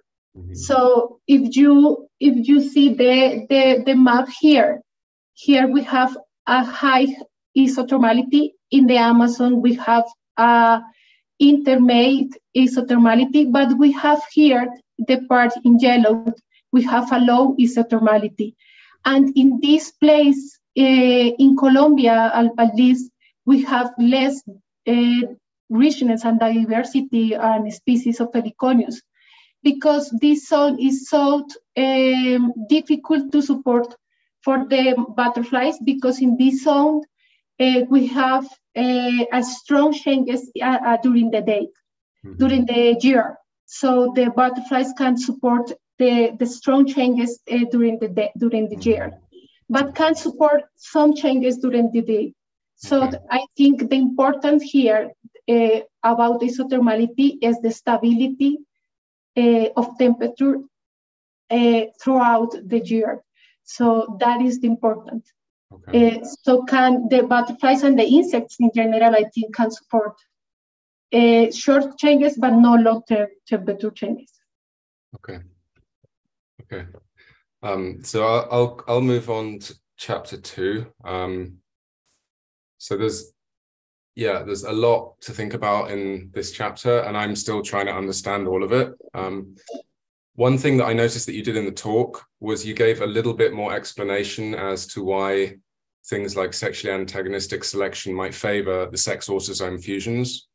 Whereas in the chapter, you just sort of said sexually antagonistic selection will favor it, but you didn't really explain why. So if you have space in the manuscript, I don't know, for someone like me who's coming at this quite naively, it might be quite helpful to sort of give, you know, a sentence to at least kind of say as you did when you were presenting what what the reasons are. Um, but so one thing that I kind of knew the Keith Brown work uh, from 1992, and I'd always wondered about how uh, accurate those chromosomal counts are. And so you've used this um, Hi-C method to assemble scaffolds into chromosomes. And I know nothing about that, um, but it seems to have assembled them into 21. So I was wondering, is that an independent test of uh, of the number 21, or is it, um, or did, did you somehow constrain it to find 21 chromosomes? So is it is it validating Keith Brown's results, or is it just is it is it biased to 21 chromosomes in some way? Uh, no, it's based in the in the Brown, the Kate Brown study, because I don't have uh, more information about what is the number of the uh, okay. the chromosomes in the cytosuffoclate. Is the is the next step because we are okay. um, assembly uh, reference genomes for all these species, and we want to confirm uh, how many chromosomes we have in each species in indeed in each subspecies mm-hmm. because we think uh, we have different chromosome numbers in different subspecies. Yeah, yeah. I, I... yeah. And Brown suggests too that it's possible that uh, inside or within the each population we have different chromosomes. So for me, it's a question about if maybe females and males have different chromosomes. We we didn't know anything about this. Mm-hmm. Yeah, it's it's really interesting, um, and I I mean, I I found the fact that the, some of the subspecies have different numbers of chromosomes fascinating, um, and so with Elutia, there were the two. You have the two subspecies of Elutia which have, I think, sixty or something like that, and then there's one subspecies of Elutia which has thirty-seven. And you and in your phylogeny, you also show that that subspecies, which is, uh, I think, Elutia. Elutia has quite a long branch length. Yeah. Um, despite the fact that it's parapatric, I think, with the other two. Yes, Elutia is in the Andes, yeah. and Elutia leucinus is in the Pacific zone, and Primularis in the Pacific zone, but in Ecuador. Okay. So, so I guess my question is: Is it? have you thought about looking for whether there is um, a clear hybrid zone between the two? Do you think they might be speciating? Um, might there be some hybrid incompatibilities if you cross them in in the lab or something like that? No, it's something that I want to do in in the future to study more about the the um, the, the, the reproduction in these in these butterflies because we didn't know now uh, if they can reproduce uh, we don't have reports of hybrids. That is mm-hmm. important because we don't have report of hybrids. I discovered uh, recently that, for example, Heliconius congener, that is here in the east of the Andes, and I, I reported uh, when a, a, student that uh, is in the is in is in Neiva, a, a region in Colombia, uh, he discovered that Heliconius congener can uh, pass the mountain mm, and yeah. stay in the west mm-hmm. of the Andes, and uh, uh, congener is in the same place with Elukia lucia, yeah. and we, we don't know that before. Is so, that in, in the Magdalena? It's crossing. Yeah, yeah, yeah, yeah. It's, it's, the, it's the Magdalena. Maybe. Yeah, yeah, oh, that's very interesting. Yeah, it's so interesting because in my in my findings, I I can see that congener uh, can be in the in the uh, can be a, a, sister species of Elukia lucia or mm-hmm. Elukia eleucinus and Elukia primularis. So, mm-hmm. uh, but again, we don't have hybrids of these mm-hmm. species. Okay. Um, yeah. Okay. So I'll just ask a couple more things because I think I'm taking up too much time. Um, but so one one thing that I was trying to get my head around was um, why when you when you've got these sex autosome fusions, um, and you you talked a lot about the the female limited haplotype accumulating mutations. but it was sort of unclear to me. Is it expected to accumulate mutations at a higher rate than the unfused chromosome or the the hom sorry the homologue, um, or is it expected to accumulate them at the same rate? Um, but it's just that it's not recombining that leads it to be more divergent. Yes, the, the reason is that the females in Lepidoptera don't recombine. Mm-hmm. So the the chromosome, in, in this example, chromosome 4, 9, and 14, uh, don't can don't recombine with these chromosomes 4, 9, and 14. So it restricted in females and and can uh, accumulate mutation and structural variants for that reason. Mm-hmm. And uh, in the case, I explained that in the case of, of the chromosome 4, we found um, um, the, the, the pattern of mean depth was stronger mm-hmm. because we think uh, uh, this fusion is older and uh, is more degenerate with respect to that for, it for uh, 9 and 14. Mm-hmm. That is the reason we think is the oldest fusion. Mm-hmm. And the reason is that it's restricted in the females. Mm-hmm. Okay, because because one thing I wondered was that um, the the sex chromosome, the Z chromosome, is uh, in in in sort of normal unfused systems is expected to diverge um, more quickly than the autosomes because it has a lower effective population size. Um, so I was wondering if you would get the same thing here, but it seems harder to detect because uh, you see instead of seeing high FST, um, you see low FST. So the it, it, it it's kind of like it seems to me that maybe it's diverging quicker, but nonetheless you see that it has lower FST. Um, the the reason of the um, pattern of, eh, of the FST is that we have more differentiation or more diversity within the species than the between the mm-hmm. species we are right. comparing. Right. And the reason is that we have these different haplotypes here. No, we have we have these haplotype uh, the haplotypes uh, here in, in, in the females, mm-hmm. and it's so different to the to the to the males. Mm-hmm. So this difference within the population mm-hmm. uh, is the reason that we have obtained this pattern of FST. Mm-hmm.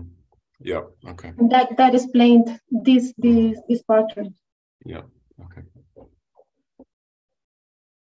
Okay, and then um, the final chapter. Um, it was I don't. What was kind of striking to me about the final chapter on cyanogenic glycosides was um, that you didn't find more differences. That it seemed seemed quite surprising that there was there were not more significant differences among the species.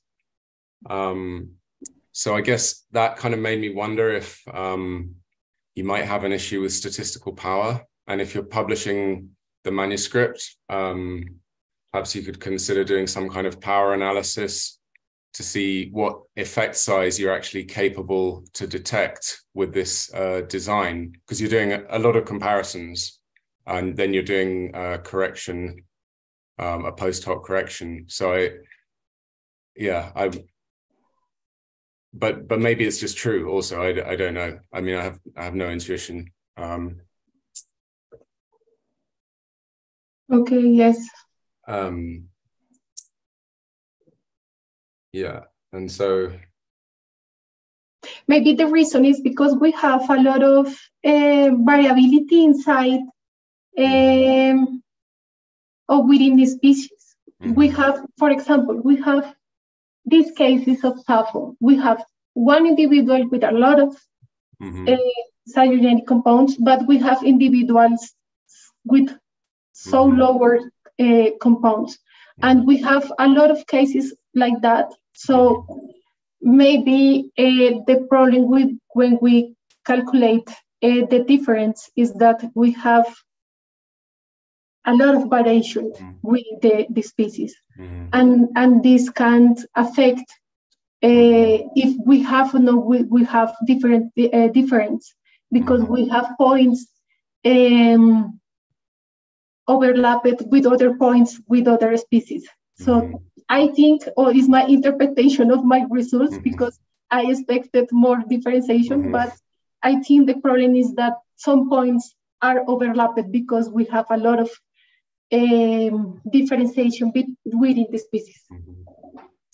Yeah. So I mean, on on that note, I kind of it was a little bit difficult for me to get a feel for if there's any kind of consistent uh, spatial variation in toxicity, and I kind of wondered if you could do some kind of test uh, similar to what you were doing in chapter one to see if um, locality predicts um, predicts concentration of cyanogenic glycosides.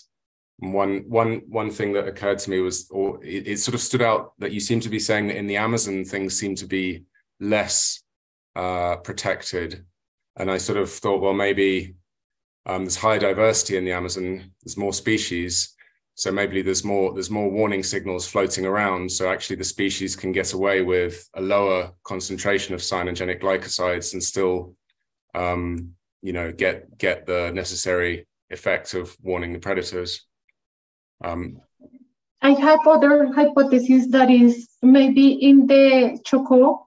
Mm-hmm. Uh, is a place where where we have um, uh, the mountain, mm-hmm. so near with the with the Pacific zone, mm-hmm. and we have uh, um, uh, many different um, altitudes. Mm-hmm. So uh, and and I can I think the passiflora is more, the diversity of passiflora is higher in zones like like this, mm-hmm. than in zones like a, like uh, the Amazon, because mm-hmm. in the Amazon we don't have the different altitudes.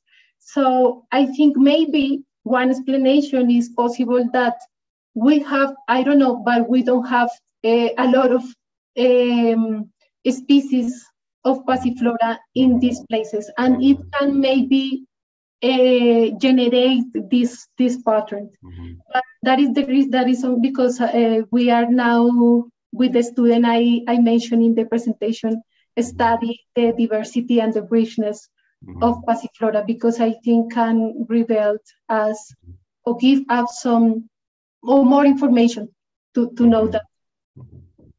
Yeah.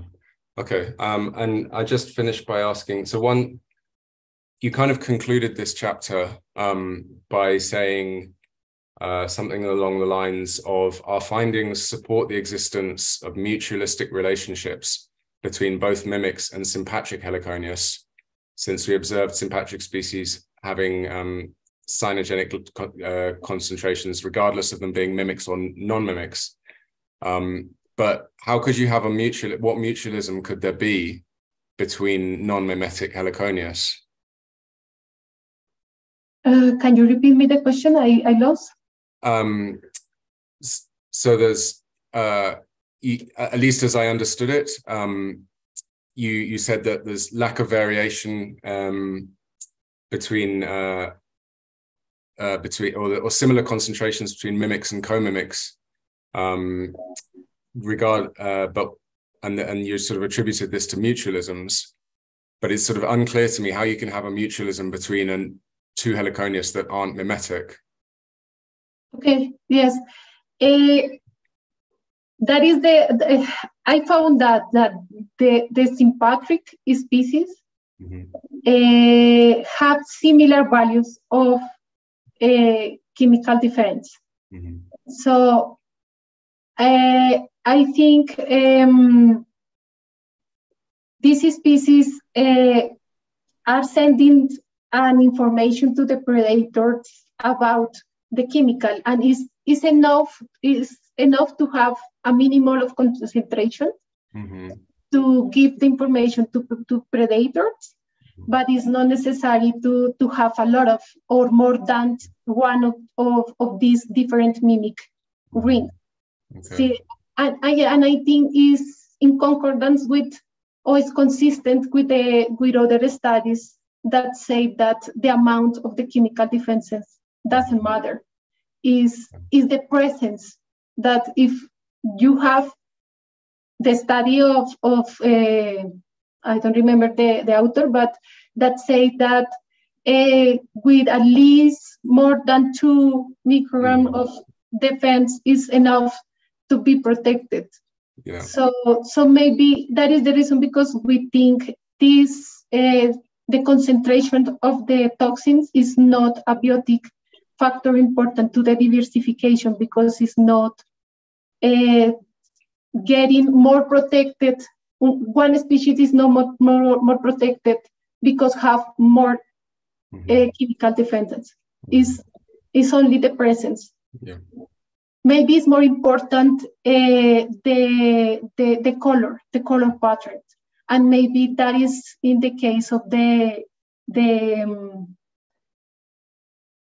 the, the, the importance of the of the this this topic is the presence of the of the of the chemical and yes it's a different species but can uh, act uh, or can't um, uh, share the risks of predation mm-hmm. uh, independently of the of the pattern color okay. i think Okay. Okay. I feel like I've already taken up far more time than I should have. So um, I could talk to you about it for ages. But thank you very much for inviting me to be a um, Ural. And yeah, it was a great thesis. Thank you, Dr. Rosser. Don't worry. We have, as I told you, we have plenty of time. Uh, I don't know who wants to continue. Dr. Freitas, perhaps you? Hi. Hello. Would you like to continue?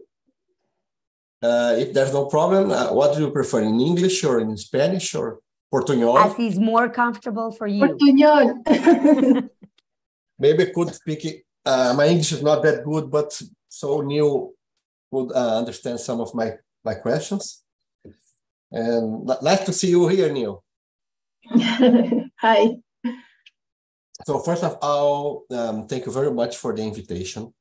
I'm very happy to be uh, as part of this because um, my my history with Nicole is is not that long, or but we, we had some contact in the past, and I'm really impressed with her career and her achievements. So congratulations, Nicole um, for everything you have done in all these years. I, I, remember when you spent some time in your lab, and I, I could see how much you are more mature scientifically now, and I'm very happy to see your publications and in this thesis. Um, I'm quite sure that um, Neil understands much more than me about the some of subjects of this thesis, and he also covered some of the questions so I would I would be much more focused on trying to hear from you about general ideas about evolution and biography of Heliconius more than specific comments about the three chapters, except by one or two uh, two um, points. Okay. Okay. So after that, and after saying that you have really a very good piece of work, uh, let's talk about the biography. Um, we know that uh, we, we know the, the, the, previous work of Neil, we know the, the papers of by Keith Brown in the past about biography and, and refuge and everything.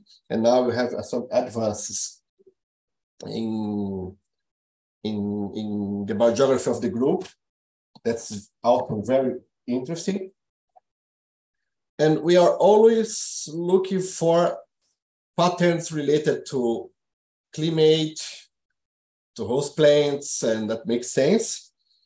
But there are also the historical factors that we could not model or, or, or guess very much. So thinking about, let's think globally. What, why do you think, what are the reasons for we have so poor species richness of Heliconius in the Atlantic forest, since we have large areas of uh, uh, forests with the excellent conditions for high richness. what do you think about this? Oh, I think um, the, the, the Heliconius is a, is a genus that have species in different uh, environments. And it's important to know that uh, um, or highlight the different species need different conditions. Uh, but uh, the common uh, variable that is important for this species is the, is the temperature. Yes, as I explained to Neil and in the presentation, the isothermality is so important, the stability of the temperature is so important. And I can see that in the neotropic, the places where uh, where the, the isothermality is is is not adequate. The temperature can change uh, is bad to the to the Heliconius. And I, I think uh, globally uh, that is the most important uh, thing, not only for butterflies, for insects in general. The the changes, uh, the, the the change in the temperature, uh, long term in the temperature can affect a lot of the, the, the insects. Uh, and and the, the temperature is related with the forest because um, the forest can control these changes in, in temperature during the day. We, we can see that uh, the, in, the, in the Amazon forest, for example, the temperature inside of the forest is, is stable than in other places. And I think uh, the forest is so important uh, for the, for the um, presence of the butterflies. The other thing is that they, uh, some uh, heliconius, uh, for example, erato, can uh, stay some parts of the day outside the forest but in some moments they can they return inside the forest. So I think um, the forest, the climate, and the stability of the of the of these conditions that is the the the, the, the necessary conditions for the Heliconius.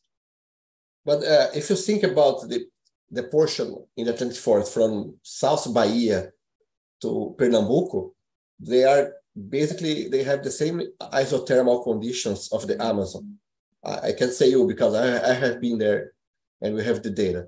So we have this large portion of Atlantic forest that could could maintain populations of this all these species, but uh, instead we don't have a, a single of these typical Amazonian butterflies here, such as Barney um, or um, whatever, all, all these groups, except some like Melpomene, Erato, Sara, and uh, and and Chila and Numata, and two endemics that are Basque and and and, and uh, Naterere. So uh, I think that's not the the isothermality of the climate that, that explain. And also, I was discussing recently with, with Neil that we have some interesting new data of, for example, we found some Heliconius ricini in the Atlantic forest uh, remnants in the dry forest Caatinga in this year in two field trips that we did. So apparently the Amazonian species could reach the Atlantic forest or could be very near the Atlantic forest, but they never reach. And it's interesting because we, we have the same with Itomini. Uh, but in other groups, such as some trees and birds. That's not true. We have several Amazonian species that with they're still is or species or sister species that are new are now in this forest from Bahia to Pernambuco. So I, I think that's a, a, good question. I don't I don't expect that you have an answer because I don't know if I don't have an answer as well. But try to integrate your knowledge. I would like to to to see if you could elaborate some hypotheses because no. uh, my view is, is, is not the, the isothermality because we have this it's not climate so that could be that related to um, like corridors of this to reach the Atlantic forest could be related to contractions of forests in the past that could not keep uh, populations in viable um, sizes, at least for these Amazon, typical Amazon species. So I, think it, it's a, a, very good question. I don't know if Neil always have to think about that, but I'm, I'm, I'm continuously thinking, trying to, to understand what happens, why some groups, important groups of mimetic butterflies did not reach the Atlantic forest.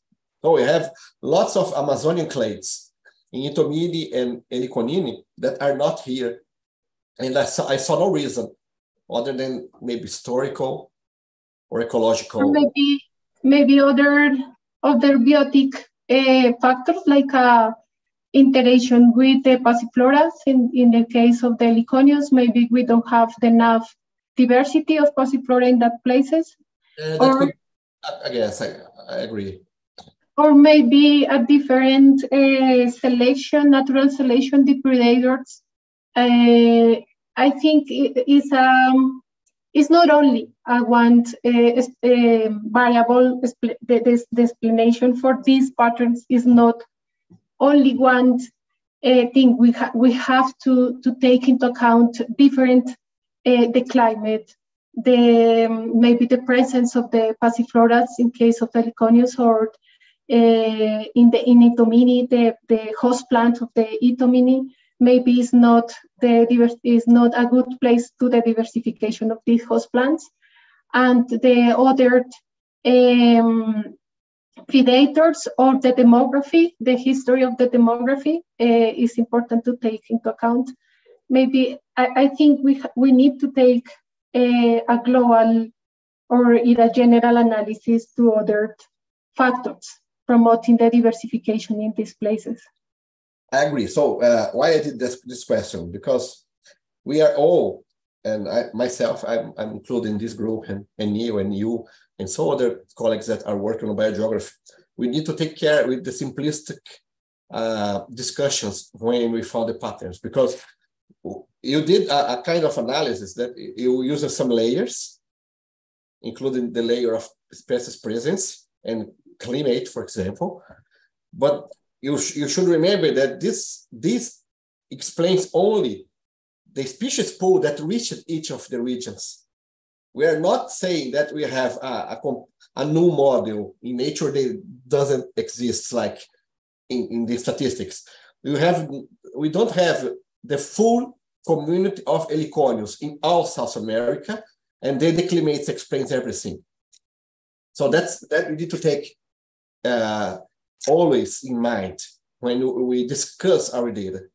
So the, uh, we don't have a low level of endemism or species richness in the Atlantic forest for heliconians because of stability, climatic stability or because of the temperature of some of the quartile or whatever.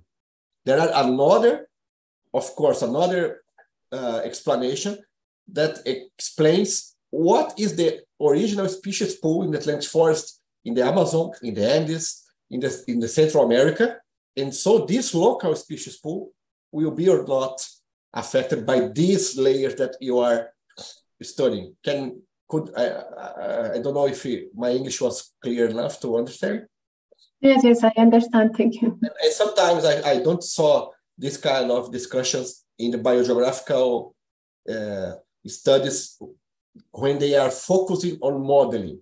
You see lots of this discussion when you have the biogeography studies that are more like based on classical biogeography. But now you have much more uh, conditions to go further away, much more than in the past. So we need to use this. We are doing that here also in our lab. But uh, if you are simplistic, for example, for a, for a clade of Acreini, that's Heliconini as well, the clade of Actinote, we have the contrary. We have a, a, a the the high, this is the thesis of Patricia that just defended uh, uh, last week. Uh, so we have the, the greatest, greatest diversity of the genus in the Atlantic forest mm. and lower diversity in the Andes.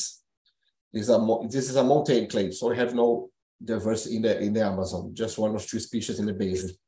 Uh, but it's basically the historical factors that are explained how we can we can find this how how many events of uh, migration and colonization of, of, the Andes, how many times they went back. So that's interesting. I can't remember now, but uh, we possibly have could have this in some previous work. How many in the phylogeny of all Iconians, how many colonizations of the Atlantic forest or of the Central America we had? So it's just a, a, a general question uh, to keep in mind that we are use, usually doing uh, slice of the, the big picture. And we need to know that this slice explain basic on the another filters that we could not access. But I, I like your, your answer, including the host plants. We, we know some, do, do you think, Nicole, that we have enough information about biology of heliconians, it's okay, it's one of the most studied butterflies. But do you think we know enough about them? No, I, I think my thesis um, showed that we don't have the all the information about heliconians. Uh, although we have a lot of research in heliconians, we I demonstrate that we don't have we, the, there is a group like a Sarasafo that, for example, we didn't study before, and we discovered other important things to the diversification of these butterflies, for example, the chromosome rearrangements. And uh, I think necessarily to continue uh, study different aspects and different topics in, in these butterflies that we are studying. Um, and in for and yes, it's, it's necessary to study again other butterflies to, to, to see how is the evolution of the insects and the butterflies in the neotropic in the neotropic going. So I, think is is uh, is necessary to continue studying uh, about these butterflies. Uh, for example, uh, we didn't know if we have hybridization in this clade in the Sarasafo. I want to study, for example, these, these topics. Um, we didn't know yet if maybe we have uh, integration uh, with these chromosomal rearrangements and and the relation between the I, I think in the in the case of the distributions, we need to, to study more the relation with other biotic factors, like uh, the passiflora, and we need to, to do other studies with different uh, climatic variables because I use, um, I, I did my study at the regional scale, but it's necessarily uh, necessary to, to do these same studies with micro, micro uh, climatic variables. For example, take the real temperature inside the forest. Uh, but we, we, we need more advances in, in, in take data. For example, we don't know the, the exactly what species eats. Uh, we, we know some things about what is the host plant of the Liconius, but I think we don't know the, the exactly because we have some information, but not exactly host plant if maybe they can eat others in the, in the five trips. So I think that there, there are uh, many areas to, to explore and, and then study more about these butterflies. I agree, completely agree. And uh, I think that uh, are, of course, one of the butterfly groups that are more studied and we have more knowledge.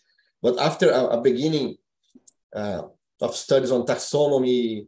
Um, let's think about the first studies from Gilbert and Ehrlich uh, in the Liconzetilla populations, and then Kees Brown and Benson, and some uh, Turner and Shepard. And then suddenly the, the scientific international community completely changed to genetics and regulation and, and uh, of course important and very uh, very nice results where we, we got with this. But then we forget that basic ecology and natural history are still necessary in Iconians, especially now that I hope, and I'm quite sure you, you will be a doctor soon today. Uh, when we start to, to advise uh, students, for example, that's a, a good experience. Uh, remember about your master's with populations of heliconians. We don't know. We have some myths. Uh, they're not myths, but we have some. Okay, heliconians have uh, stable populations along the year, and uh, but that's not true. As I you could see by some few papers that we I did with my students here undergrad students usually uh, would like to do a, a, simple study of, okay, let's study a population of one heliconians. Um, so that's not true. We, we need to know more about population patterns, host plants. We, we know the host plants in Campinas region, in some place of the Amazon, in, in Colombia, in Central America, but in most of the distribution, we have no idea. And this is important data for us to, to better understand. So uh, you and Camilo and other uh, is, is, uh, people from Colombia, it's a, you are in a tropical country, completely access to these populations. Uh, try to do the same uh, I'm doing here. So when you have a, a undergrad student that would like to do a simple uh, ecological study with a paper and a pen, we can we can go back to the field and study host plant use, population ecology, things like that. So we, we can really contribute to have more data for future modeling and genetic uh, regulatory studies on heliconians. Okay. Okay, I have a second um, a second question. Um, it's just an en passant uh, mentioned uh, about the effects of a cloud climate in the in the flight of the butterflies. Uh, you work with that in the Chocó that's a really rainy uh, region. Uh, remember about this? Yes, yes, I remember. No, but the, the, the only paper about that that you mentioned is a paper from Europe based on butterflies that are non, non-forest butterflies, as all uh, West European species. They are all from meadows. We have no real forest butterflies in this portion of Europe. You have it in the Russia and other regions. So how important is this for tropical butterflies? Because uh, in my experience, and my experience is much more related to the Atlantic forest, if you have warm temperature, that's the case of Chocó, and cloud, the heliconians can fly away in the open the forest species, and the Eitomini as well, we see that. So do you think that could be real for heliconians, that these cloud conditions could uh, limit the, the, dispersal. And also, a, last uh, information. Uh, once I asked about Keith Brown about the Chocó, and he collected several times there, like as you know, and he told me that one day they have a completely sunny day, and the butterflies look like to be afraid because they couldn't collect almost anything. So if you have a, a, community in a place that's raining 8,000 millimeters a year or 10,000, don't you think that this, and it's warm, remember, it's not cold.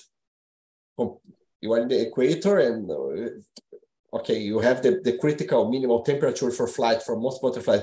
Do you think that this paper by Cormon et al. will apply to heliconians? I'm really not sure, Nicole, but I'd like to listen from you.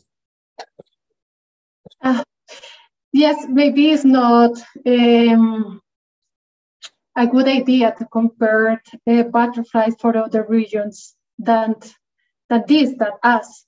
But I, I found uh, dif- difficult to find studies um, that mentioned something about uh, the neotropic butterflies and the and the um, precipitation of the in general whatever climatic variable is difficult to find as studies that investigate uh, how the precipitation of the rain affect uh, the the flying or the other characteristics of the butterflies.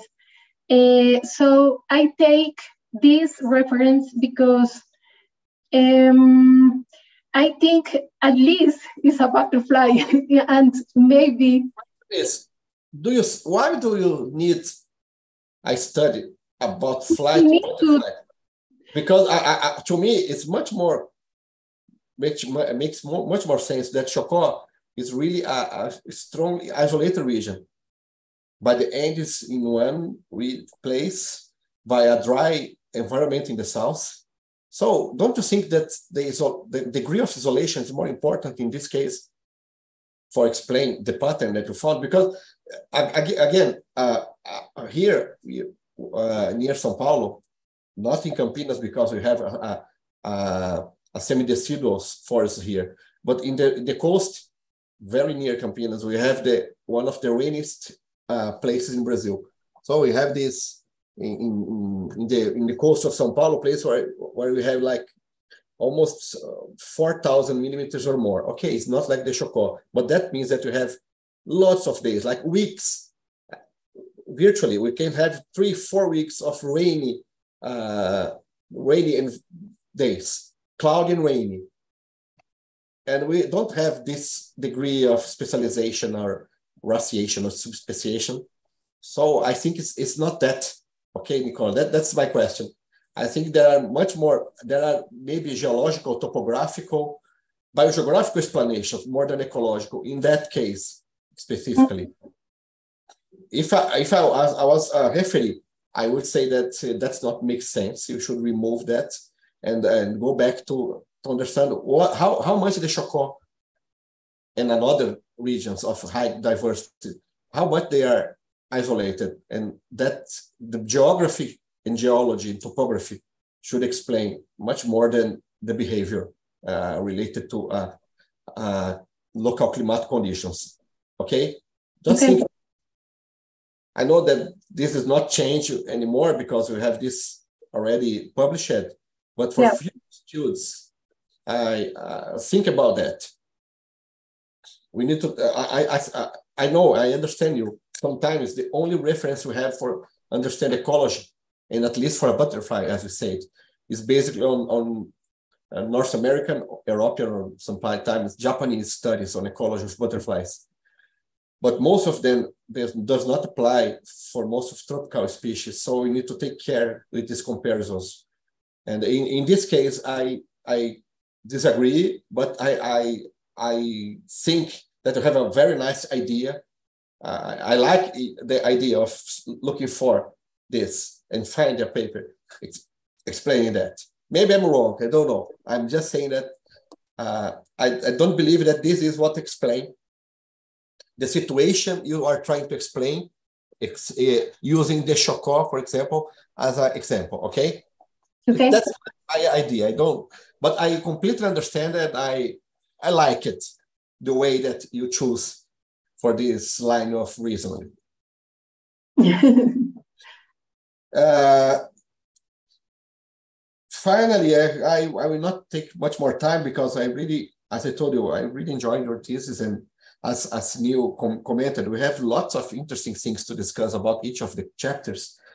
But I'm quite sure uh, that my, my questions will, uh, and much more to, to, to you show us and the people that are listening how much you know and how much you can discuss about uh, science than to find problems in your work, okay? Okay. So uh, in, finally, one question in the in the discussion of the last chapter. Okay. Okay, let me open here one moment, uh, find the page.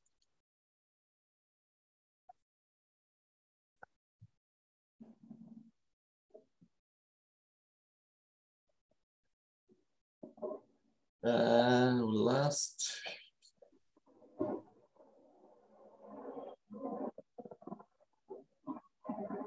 You have two pages discussion, correct?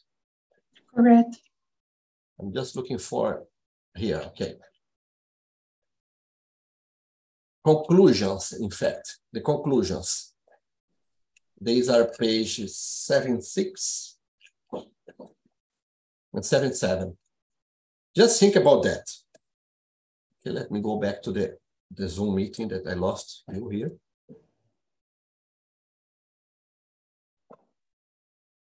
Okay, here you are. Okay, I'm back in the thesis. The conclusions, they are fine. For the first chapter, you have all your conclusions. For the second chapter, you have all your conclusions. For the third, I disagree that you could say as your conclusions. Everything from therefore my thesis adds evidence that supports that higher toxicity does not necessarily translate to higher or faster predator learning. I don't i don't see how your results could say about that. And you could suppose but there, there are not conclusions. Could you understand nicole? Yeah yeah. You so say other predators characteristics just ability to learn you're not studying that. Okay. Okay, so that's not your conclusion. That this is your discussion. In your discussion, you could say you could say all of that, but not as part of your conclusion. So if you compare the your conclusions of chapter one and two, they are okay. They are all conclusions of our work, basically. In the three, the speculations that are part of the discussions that are okay, they are included as conclusions and I'm think they are not. So it's it's not something completely bad or wrong. It's just a suggestion that maybe you should think a bit about these conclusions.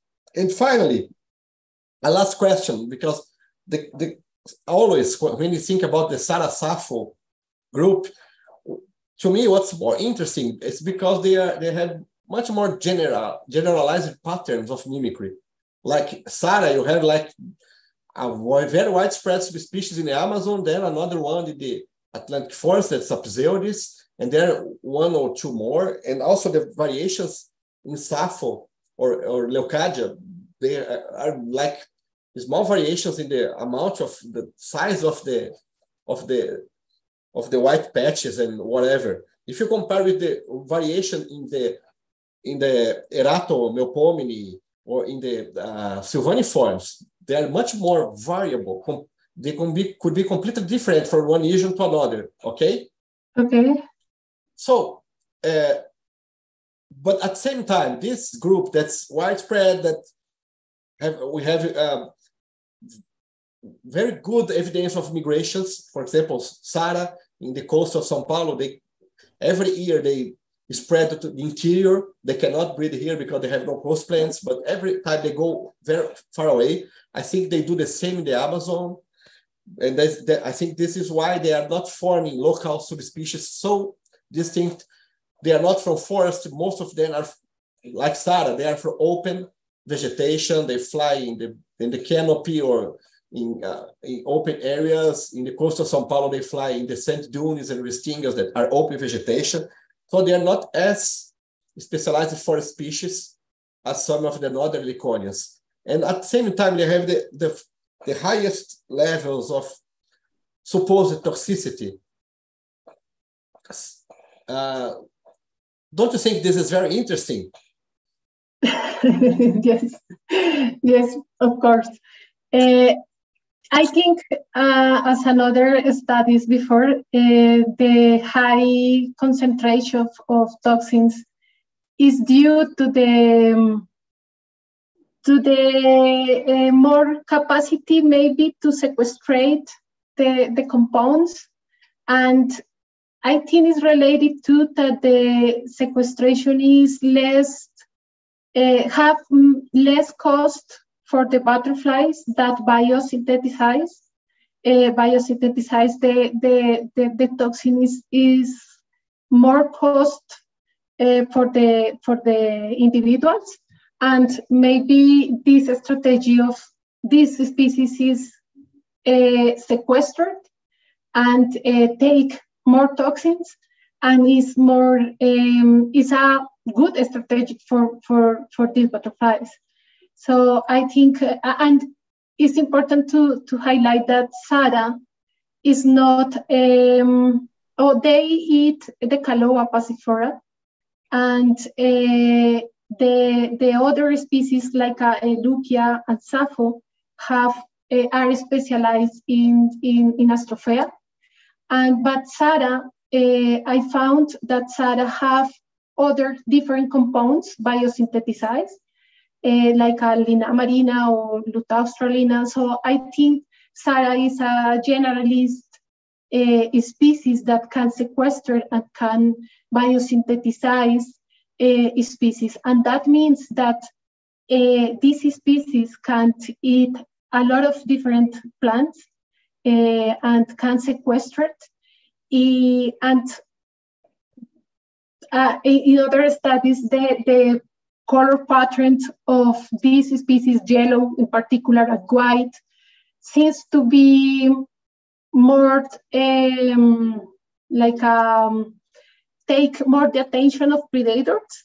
And that is the reason because I want to study uh, the relation of the colors and the toxins, because maybe uh, if the if the signal of the mimetins of the, the, the, the signal to the predator is related to, to the toxins.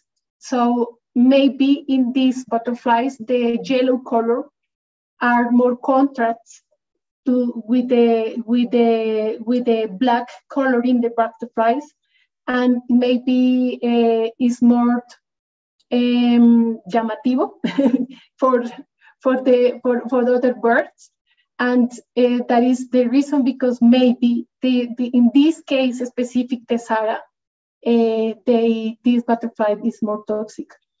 I think. But, but, to me, what's interesting to me, Nicole, I don't know if you agrees as well and other members of the, the committee, is that in this case they they have.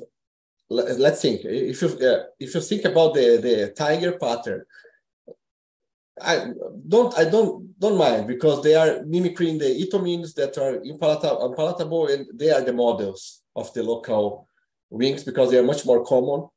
So I, I think the drivers of the mimetic rings of the tiger are the ithomines. Okay, but then you have the Eratomelpomene and another ones in these rings that includes Bournei and uh, Elevatus and other that are they have similar colors but some big, like more or less medium-sized mimic rings.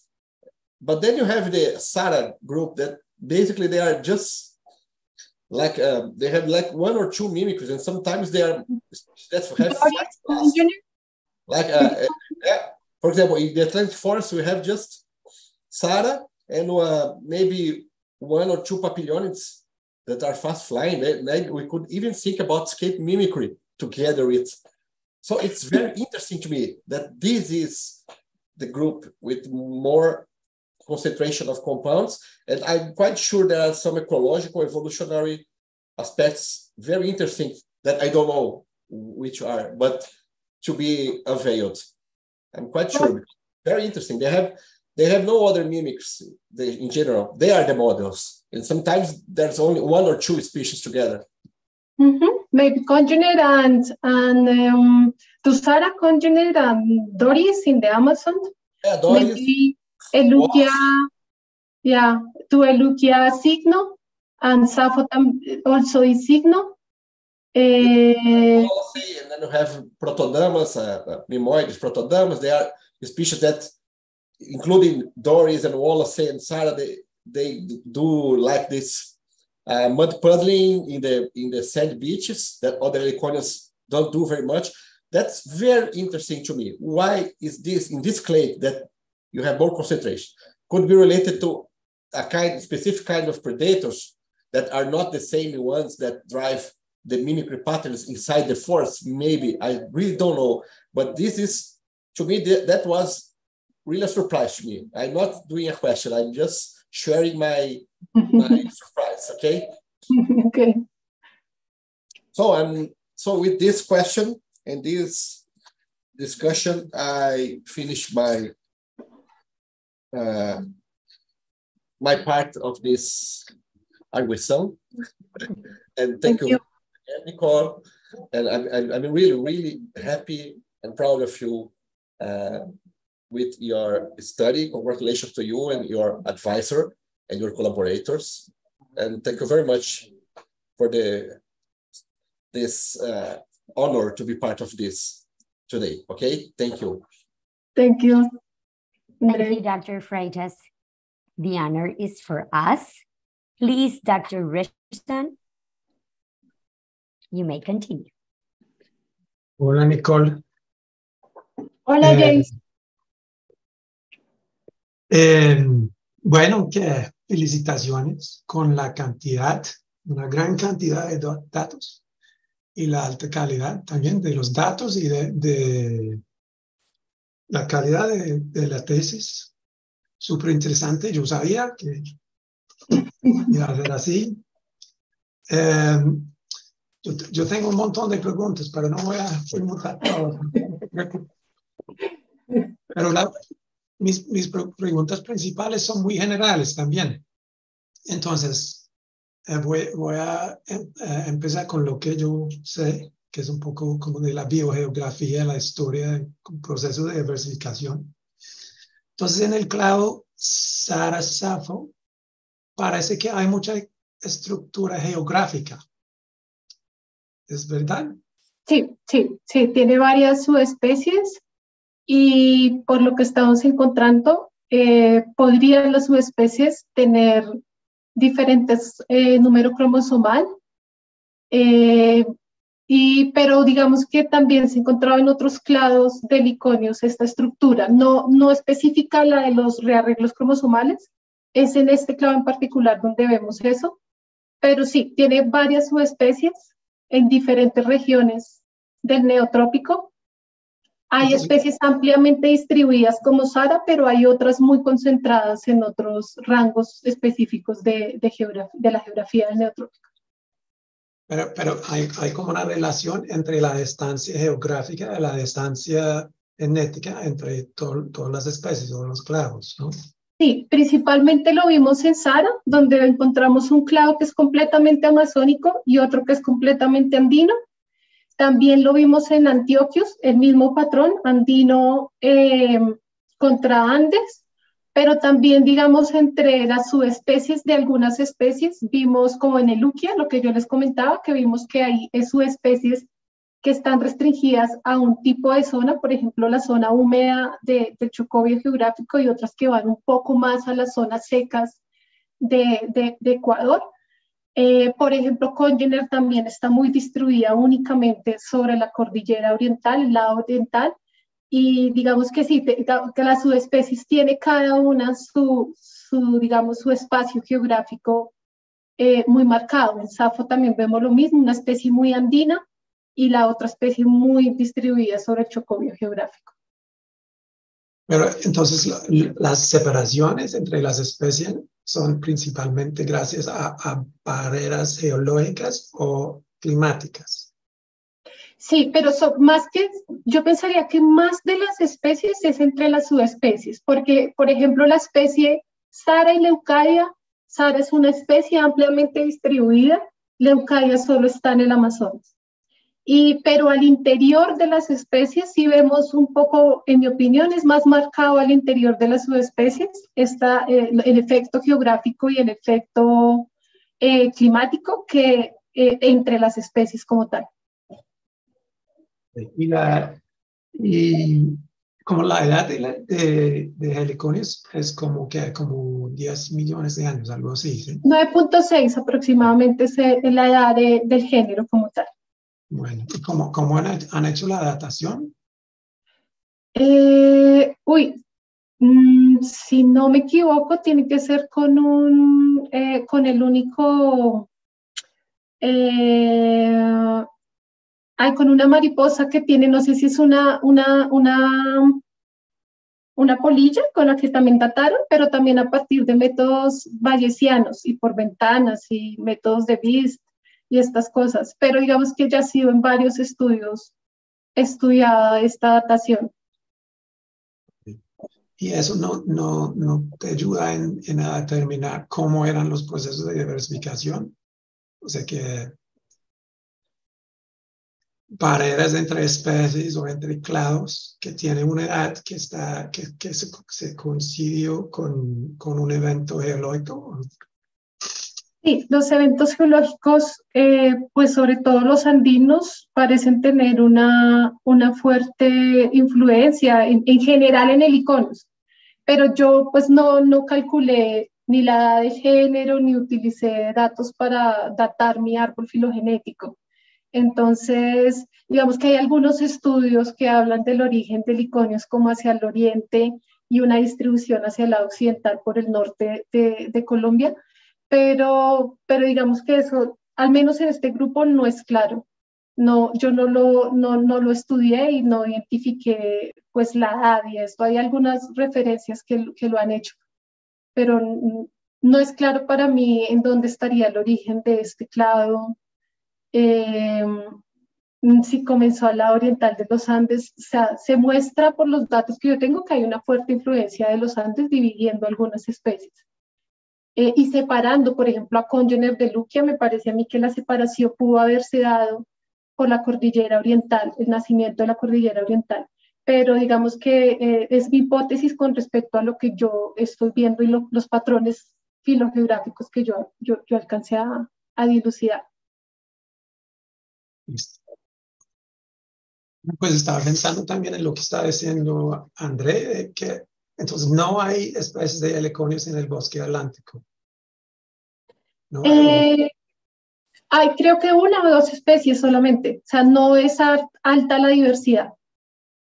Si no me equivoco, está Erato, eh, Sara tal vez, pero no es, no es la diversidad que encontramos en otros sitios. Ok. Y um, um, ¿qué, tan importante es, está hablando o diciendo que lo que es más importante es la temperatura? Y tú puedes hablar un poquito de cómo, qué tan importante es como la, la humedad, o sea, como, como en zonas que, que son muy secas, no se puede encontrar o son muy raros heliconios. Mm, bueno, por ejemplo, en Colombia, eh, cuando yo he tenido la oportunidad de mostrar bosques secos o los datos de ocurrencias que yo encontré son muy bajos. Tal vez las especies que podemos encontrar son las que son ampliamente distribuidas como erato, eh, tal vez melpómene, pero en zonas secas la verdad es, es menos probable encontrar una gran variedad de liconos. Si están en zonas donde hay mayor eh, humedad. ¿Y eso es por qué? Yo, yo consideraría que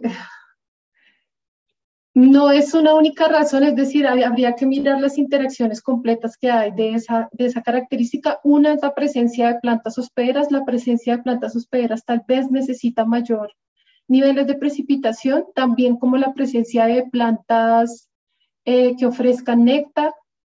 Eh, entonces habría que mirar esas interacciones con otros factores eh, bióticos, como en este caso las interacciones para, para poder mirar eh, eso. Y pues yo creería que la precipitación va más relacionada con, por ese lado, por la presencia de, de, de, la, de los alimentos, tanto como de adulto como, de, como el larval. Entonces, ¿cómo difícil separar si es como, como la, la sequía o la ausencia de, la, de las especies?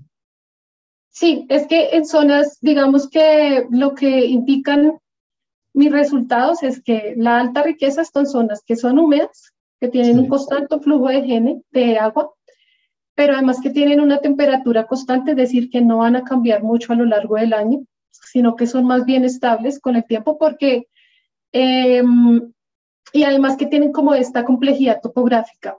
Pero yo pienso mucho en la zona de, de, de la Orinoquía colombiana, en la Orinoquía colombiana, en el Iconius, uno encuentra lo mismo, ciertas especies que son generalistas y que están en todo lado y que uno siempre las encuentra, pero no encuentra mucha variedad eh, como digamos otro, otros grupos diferenciales como silvaniformes y demás. Yo estuve muestreando en, el, en Orinoquía y eso es lo que yo pude evidenciar. Digamos que siempre es Erato, Melpomene, un poco Sara, pero no hay ninguna otra diversidad. ¿Por qué? Porque hay, temporadas del año en que son completamente secas y hay una sequía muy fuerte y otras temporadas del año donde llueve demasiado y se inundan porque son zonas inundables del país.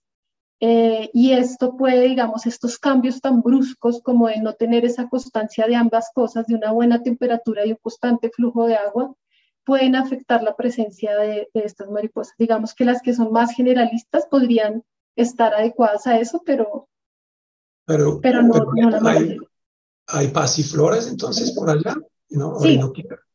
Sí, yo encontré pasifloras, yo encontré y, de hecho reportamos una, una, especie que podría ser nueva de pasiflora y, y la encontré, encontré a Liconio Sara comiendo eh, una, esa planta que no ha sido reportada y entonces ahí es donde yo también digo que nos falta un poquito más de detalle en qué come cada, cada especie y que tal vez, porque se supone que Sara es especialista de un único tipo de planta hospedera, o eso creíamos, pero cuando yo encontré esto, pues esto me da evidencia de que realmente hay zonas del país donde aún no hemos terminado de hacer eh, investigación básica como esto, como es el reporte y el reporte de, plantas hospederas, y ver que ella sí puede alimentarse en otras zonas de otro tipo de plantas. Entonces sí hay pasifloras, pero no la gran diversidad que encontramos, por ejemplo, aquí en los Andes. Entonces, yo he encontrado en, en Orinoco, encontré tres, cuatro especies, pero aquí nomás a dos horas de Bogotá, en los Andes, encontramos en un gradiente altitudinal 10 o más especies de pasiflora. Entonces, yo creo que eso tiene mucho que ver y está relacionado mucho con la presencia o no de también una alta diversidad de liconios y que tal vez los que están en zonas donde no hay mucha diversidad son aquellas especies que son precisamente generalistas en, en lo que se alimenta. Bueno, que las plantas son importantes, ¿no? Sí, sí, sí, bastante, porque finalmente esto es que ellas se alimentan como larvas y como adultos, pues la presencia de plantas de polen y de néctar son muy importantes para, para ellas. Bien. No, pues, pero interesante que, que Catalina ya está trabajando en el parte de las plantas. Sí, sí, es muy importante, muy interesante. Eh, una, otra pregunta muy general. Estoy interesado en procesos de diversificación, de especiación.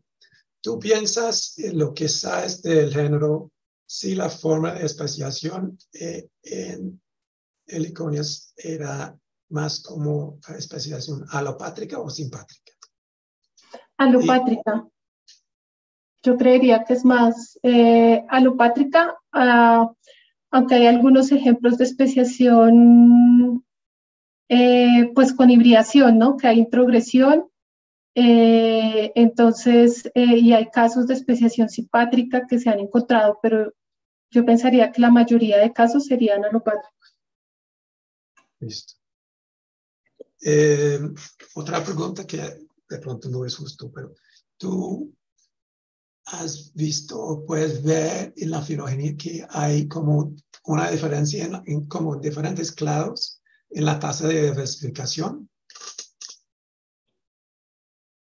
Pues en la filogenia que yo tengo encuentro, por ejemplo, que el clado eh, Safo en particular, si vimos el, mapa, eh, tiene una longitud de rama más larga que el clado de Sara y algunas especies al interior de este clado también tienen ramas un poco más largas que nos podría indicar que hay, han habido muchos más cambios eh, genéticos en estas especies y esto pues podría estarnos indicando, indicando algo, aunque yo no calculé las tasas de diversificación como tal, ¿no? Entonces es simplemente como una inferencia que hago a partir del árbol que yo obtuve. Pero en los, en, los otros árboles, digamos que se han utilizado eh, para el género liconios en general, sí se han hecho esta clase de estudios. Listo. Ok. Bueno. Eh, a ver. Bueno, de pronto la última pregunta, entonces. Es que eh, lo que es súper interesante lo de las químicas. Eh, no sé si he entendido bien, pero tú puedes decir que hay, dos como estrategias, ¿sí? secuestración o, o sintetización. ¿Cuál es el estado ancestral? Eh, se dice que, que lo primero que surgió es la biosíntesis, es decir, estas mariposas podían sintetizar en general todas. Posteriormente apareció la secuestración y eh, se cree que el clado sarasafo ah, perdió la capacidad de biosíntesis. Eso decían los estudios anteriores, pero yo creo que eh, pues podría no ser tan así, o hay como dos posibles explicaciones. Pudo haber sido que la perdió o simplemente no la perdió, es decir, sí biosintetiza, solo que prefiere o prioriza la secuestración, pero em, también puede ser que esté secuestrando los compuestos, o sea, todavía creo que aún nos falta un poco más de estudio con respecto a eso.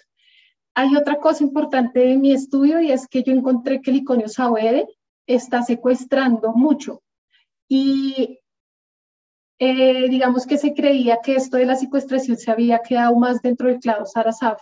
Luego esto nos podría poner a pensar un poco en, mirar qué fue primero, ¿no?